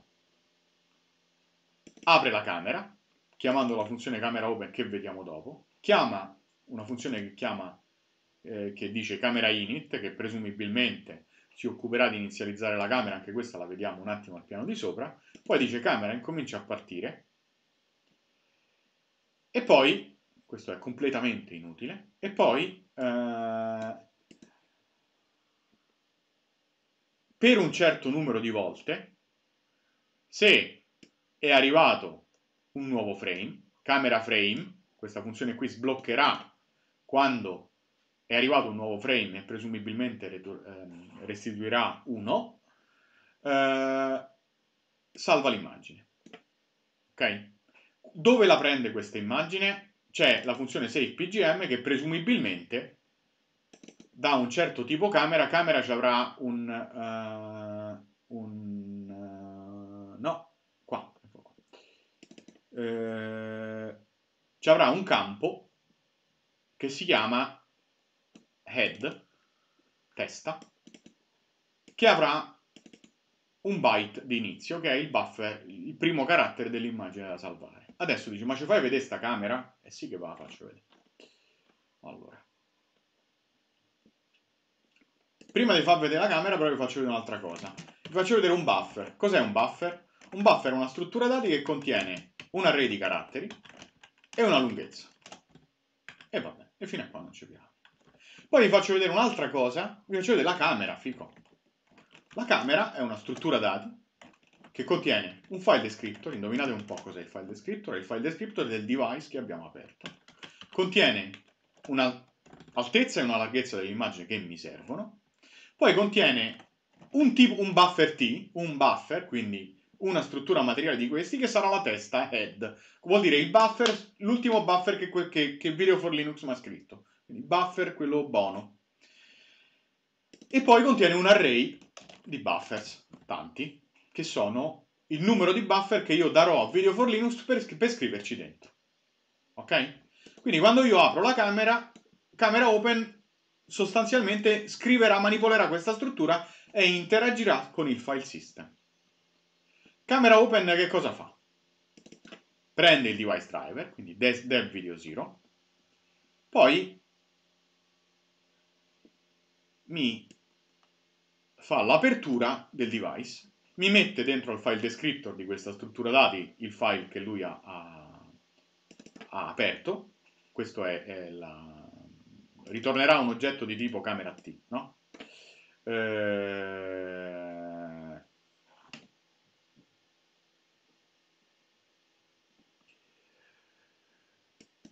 mi imposta l'ampiezza, la larghezza, mi imposta il numero di buffer che io eventualmente ci voglio mettere, per esempio 0, eh, mi imposta la lunghezza dei buffer, per esempio 0, quindi azzera tutte le strutture interne tranne la larghezza e l'altezza, e mi ritorna un oggetto camera. Questo è molto semplice, penso. Quindi. È un costruttore dell'oggetto camera che mi apre solamente il file descrittore, descrittore imposta la larghezza e l'altezza. Bene, siamo a posto.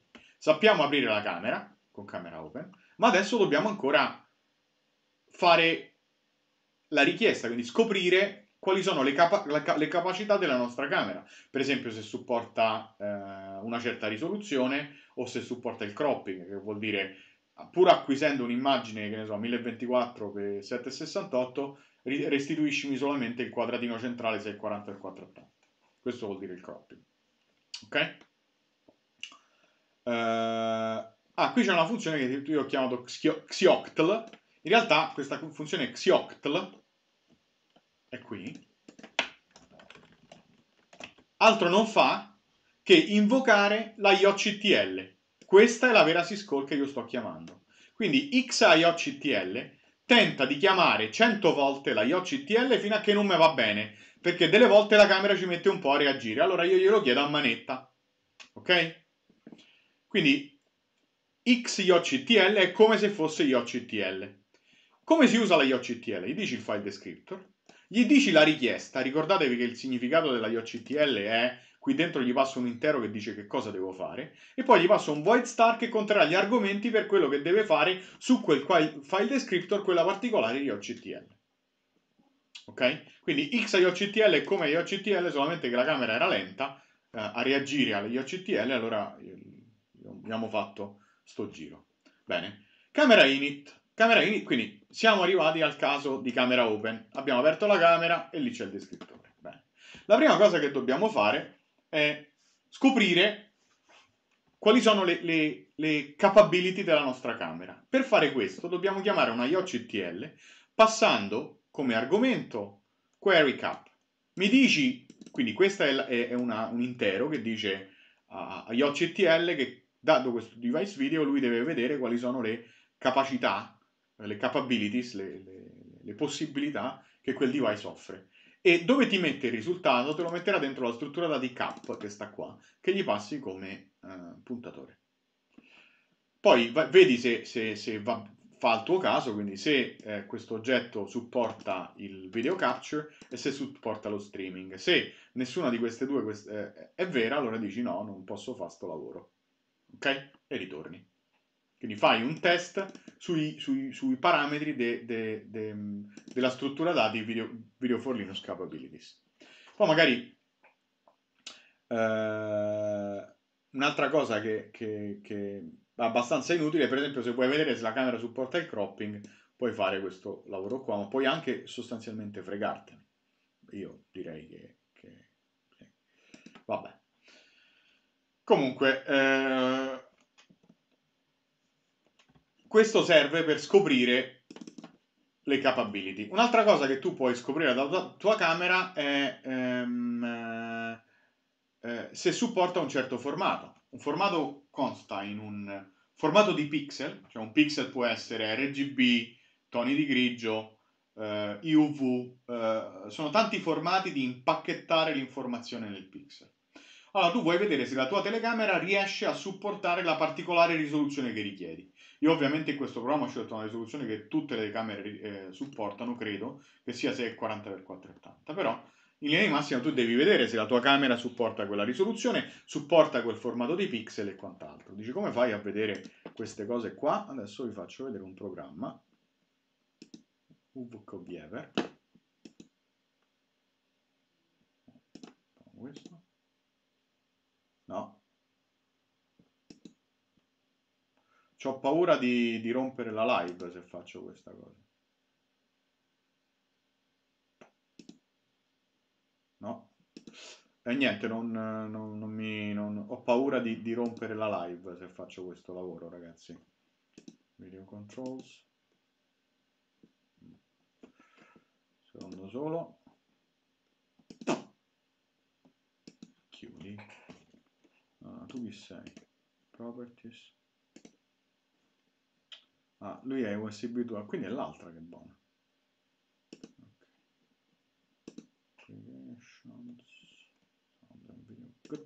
ebook viewer e questo ho detto ok oh ma lo fa partire eh? niente. Oh. Duro de comprendonio. Uh, ce l'ho un'altra camera? Aspetta un attimo.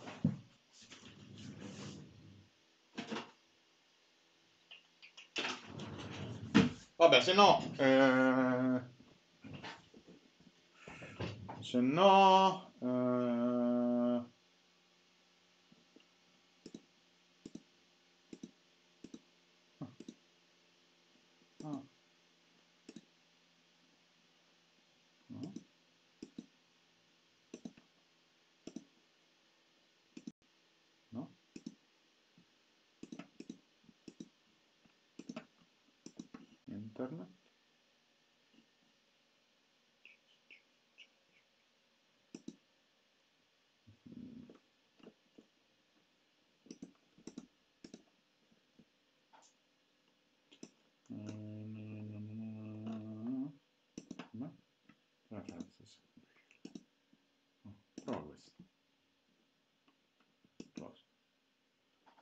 Niente, mi è incagliato mm, eh, alle brutte devo staccare un attimo la mia bella faccia dal, dal video, ne, ne una, ce ne faremo una ragione. Eh, volevo farvi vedere le, le, capabilities con una GUI. Se avete un programma che si chiama GUVCView, GUVCView, questo, GUVCView, ecco, che cercavo di lanciare prima. Ok. Niente, non gliela fa installare, non gliela fa fare la partita no video device found, eh, mi dici qual è? Facciamo questa, ok? No? Ok. Eh, c'ho, la bua alla camera, eh, me ne farò una ragione. Eh, dicevo, stavo nella, nell'inizializzazione della camera. Fai la IOCTL, vedi se riesci, se supporta lo streaming che tu vuoi.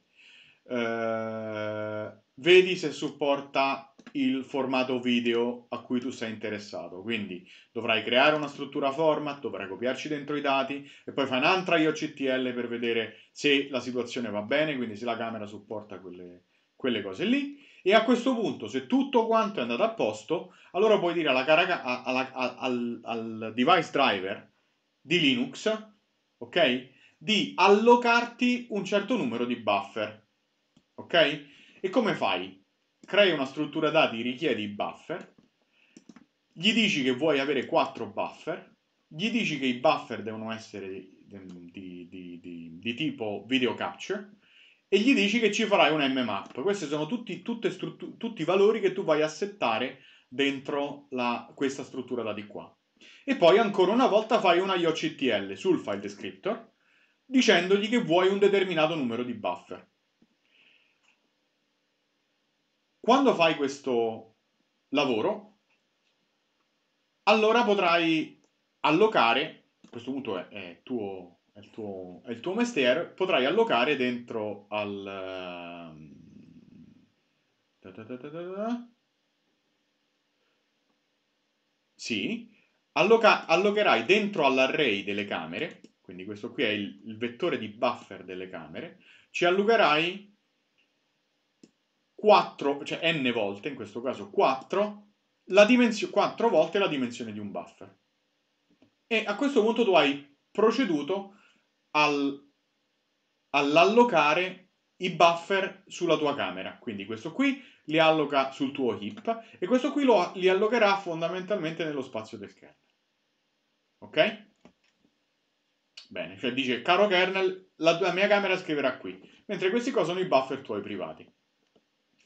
L'ultimo passo, a questo punto tu potresti far partire l'acquisizione, però il kernel scrive, il driver scrive sui, sui, sui buffer che lui ha in memoria e tu, devi, tu, devi, devi, devi, copiarti fondamentalmente questi buffer nel tuo spazio, eh, nel tuo spazio diciamo, personale.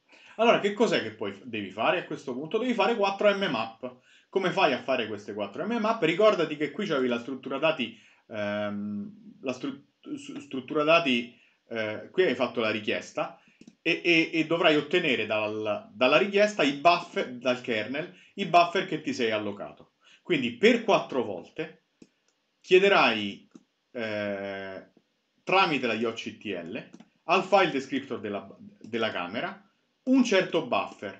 Quale buffer vai, vai chiedendogli? Gli vai a chiedere l'iesimo buffer, dove l'iesimo buffer va da 0 a 4. Quindi per 4 volte fai questa IOCTL che se va a buon fine ti, ritorne, ti riempirà questa struttura dati che tu chiamerai buffer.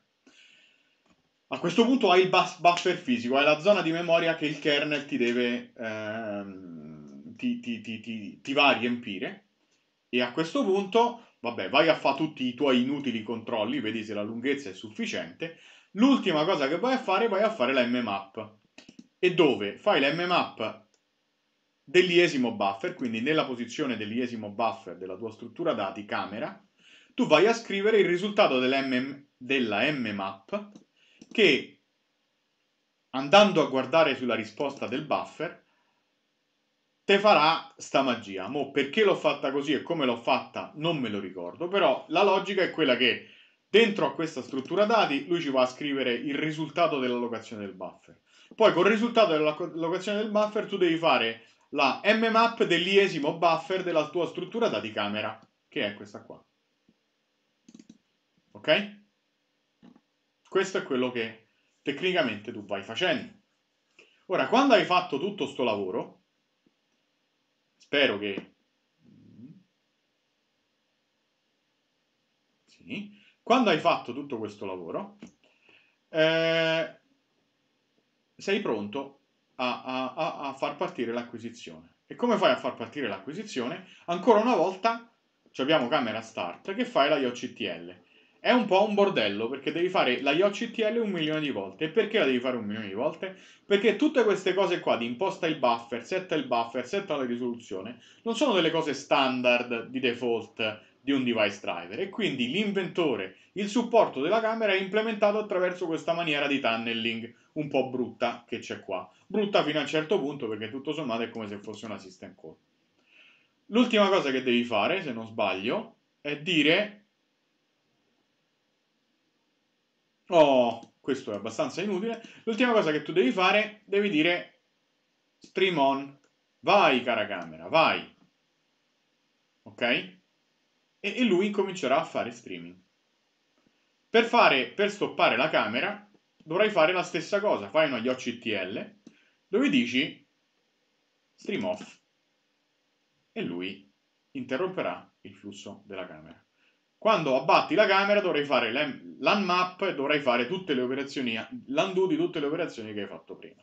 Ora io non mi aspetto che voi facciate funzionare la camera. Questo qua è un esempio fa per farvi vedere come interagire con un device che ha un pochino tutti i pezzi, perché la camera ha eh, il, il, DMA, ha la, la, la select sui buffer, c'ha un sacco di roba. Ora, c'è un'altra funzione che a me mi interessava, quella che mi interessava più di tutte, che è quella che dice camera frame. Eccola qua. Questa è quella che mi piace a me. Come faccio a sapere quando una camera mi ha prenotato, mi ha, mi ha, mi ha scritto un buffer? Lo faccio così. Faccio una select sul descrittore della camera. Questa select mi sbloccherà o a timeout oppure mi sbloccherà nel momento in cui il mio sistema ha scritto sulla camera. Mo, io prima non sono riuscito a far andare la camera con i tool di default di Linux. Vediamo se riesco a farla andare con questo affare qua. Quindi cosa mi aspetto che succeda? Vediamo un po'. Questo affare qua cosa fa? Inizializza la camera. No, aspetta. Camera open? Sì. Crea la camera. La inizializza e quindi fa tutto quel bordello che abbiamo visto prima sulla, sul query, sul setting della risoluzione e quant'altro, ma non alloca i buffer. Camera Start fa l'allocazione dei buffer e farà la mia mmap. A questo punto io sono pronto ad acquisire, la camera tecnicamente già sta andando per conto suo. Io per mettermi in attesa sincrona di un frame dirò mi dai il frame un certo, cioè camera frame. So che questa camera frame farà una select sul descrittore della camera e mi ritornerà un, e, e, e mi sbloccherà quando l'oggetto è stato scritto. Quando l'oggetto è stato scritto, io posso utilizzare la funzione savePGM che andrà dentro la mia camera, questa qua, e mi leggerà dentro a un certo, una certa struttura dati testa, che è di tipo buffer, che io so quante righe e quante colonne c'ha, mi leggerà l'informazione e poi me la scriverà sul disco. Ora, Dici, c'è una sola cosa che, che, mi turba, che è dove aggiorni head? Vediamo un po' dove aggiorno head. Lo aggiorno dentro la magica funzione camera capture. Perché quando vado a fare... Eh, quando catturo l'immagine dalla telecamera, dentro a questa struttura dati qui che io a cui io accedo attraverso la IOCTL, cioè in cui la IOCTL scrive, io ci avrò una cosa importante che mi dice l'indice del buffer che è stato scritto dalla funzione camera capture, perché il kernel cattura, io gli do un ring buffer, lui mi dà l'ultimo buffer su cui è scritto e come, come fa a darmelo? Mi ci scrive qua dentro, ok? Cioè lui mi, mi, aggiorna il numero di buffer in cui lui ha scritto. In questo modo io posso copiare il buffer iesimo, buffer uh, di tipo index, al, nel, nella, nella, locazione della testa e poi dopo, eh, e poi dopo diciamo, la, la, la lavoro. Quindi camera, camera capture che cosa fa? Fa una IOCTL sulla camera dicendogli parti e incomincia a fare questa acquisizione in modalità memory mapped. Lui questa acquisizione qui farà una scrittura su un buffer, su un oggetto di tipo buff, che è di tipo video for Linux buffer, che ha un sacco di campi. Uno di questi campi mi dice qual è degli n buffer che io gli ho configurato prima, quello dove lui ha scritto. Nel momento in cui so quale degli n buffer su cui lui ha scritto, io prendo e rozzamente me lo copio no? nella, nella, eh, eh, in un campo della camera che, che è la, la um, eh, sì, me lo copio nel campo eh, start, mi copio tutti i byte nel campo start, nel campo head della mia camera in questo modo questo maledetto campo head che sta qua, io ci copio tutta l'immagine fondamentalmente. La copio qua, dentro al buffer puntato dalla testa. È quello che vado a fare qua.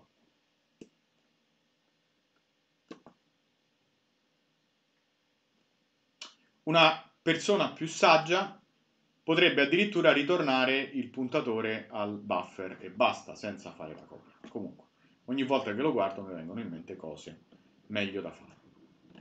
Bene. E abbiamo finito. Comunque, se volete guardare come si apre la camera, il consiglio che vi do è di prendere un programma già fatto e modificarlo, perché è una cosa abbastanza pallosa. Ora faccio vedere questa acquisizione già, no? Capture camera. Dev. Video. 0. 100. Un po'. Bene, video 1. No? E vi ho detto che ho le camere rotte. Allora ragazzi, io pauso, metto un attimo la, la telecamera, eh, questa qua, la chiudo, così ce l'ho buona. Però lui mi dice che è busy. Ma che cos'è che sta usando la mia camera? Non lo so. No. Ce l'ho un'altra camera, devo cercare una webcam.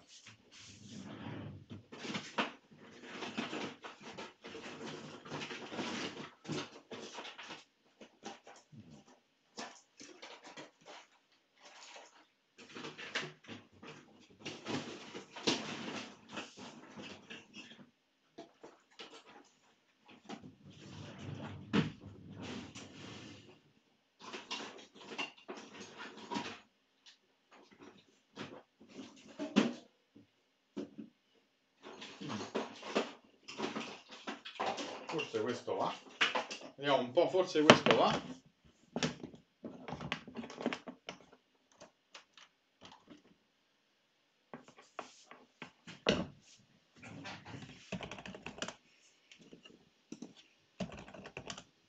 mm.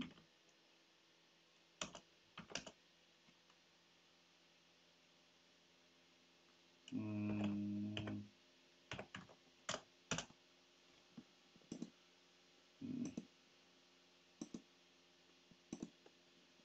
Allora, ragazzi, non mi vedrete più fino a che non ho disa- eh, disabilitato. eh, ma che è che sta usando? La mia camera. Quindi che faccio?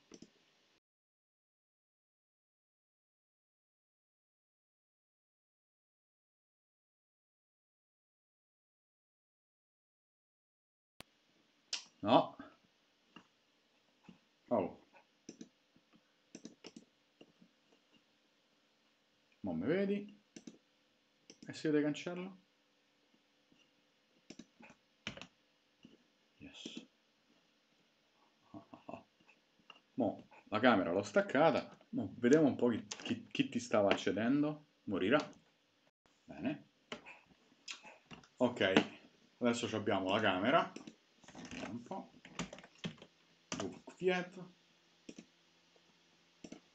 Ok.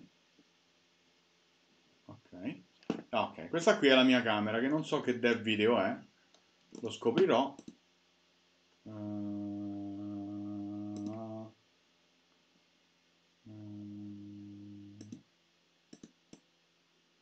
Sì, però se tu mi dici qual è, se è dev video 0 o dev video 1, io sono contento. eh. E io adesso sto usando la stessa camera che GovKiev.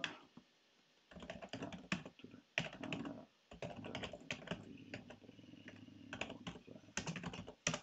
No. 1. No. 2. No. Che device è questa camera?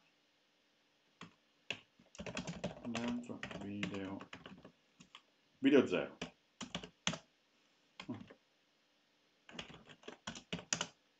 No. Video 1. No. Video 2. No. E video 3 no.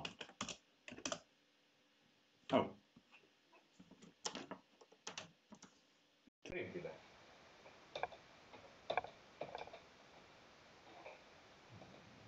Come l'hai visto questa?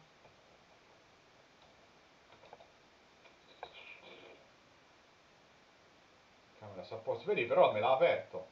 Device of Resource Busy vuol dire che c'è un altro programma che me la sta usando. Ma che cos'è che me la sta usando questa camera? Gubok Viev. Mm.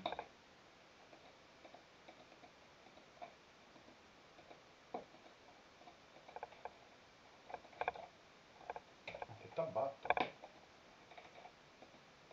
Ma non è che c'è altro GUVCQ da qualche altra parte, no?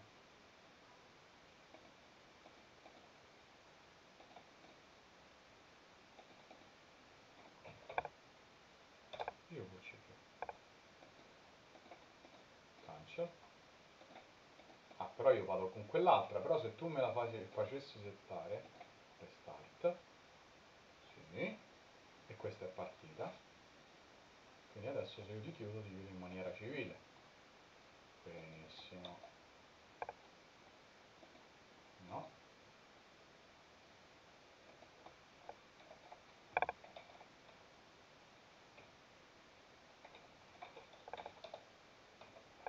Ragazzi, non so che ho con le camere oggi, mi si sono rotte tutte e due.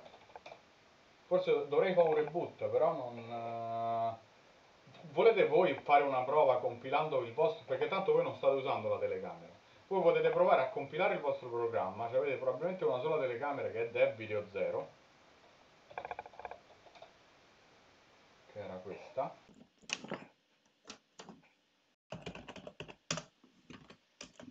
Eh, sta bene pure sta camera. Eh? Può essere che mi si sta a la macchina comunque.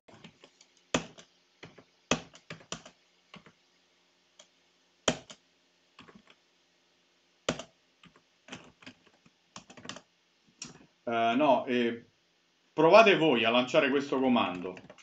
Capture camera, dev video 0,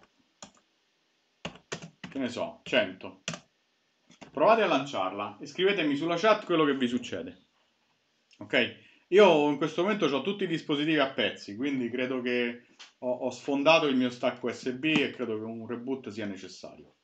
Voi però fatelo al volo, tanto ci vuole tanto. Andate dentro la directory 14 devices e, e, e, e fatelo. Atten attendo ansioso.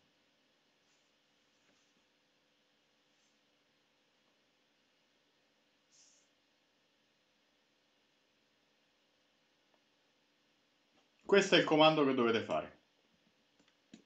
E adesso addirittura posso, posso addirittura pensare di riesumarmi sul video.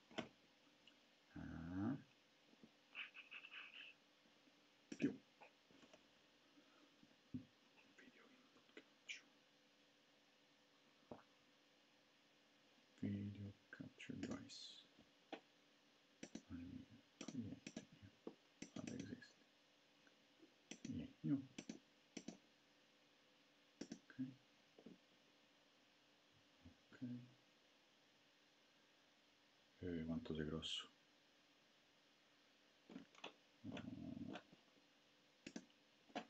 Ok di piccolo.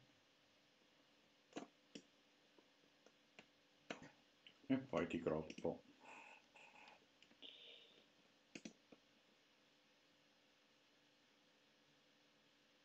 Ragazzi, avete capito quello che vi ho detto? Vi, vi, Avete provato a lanciare questo comando? Mi dite se vi fa qualcosa sul vostro computer. Eventualmente dovete uh, uh, sudo add group video. Group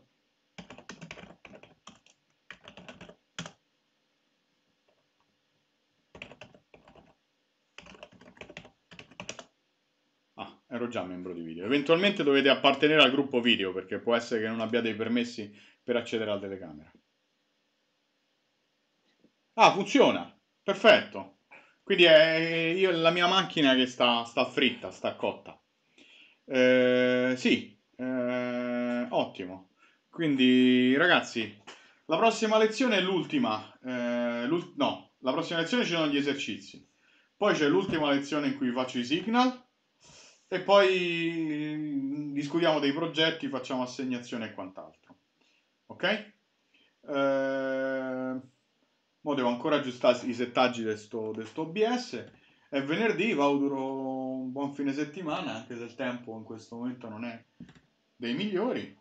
E magari visto che abbiamo saltato un po' di question session, eh, sì, lo so che funziona. Sì. Eh, magari abbiamo saltato un po' di question session, eh, li facciamo eh, la prossima volta dove facciamo anche un po' di esercizi sul file system e quant'altro. Ok? E poi facciamo i signal e poi ci prepariamo all'esame così prenderete tutti un voto alto.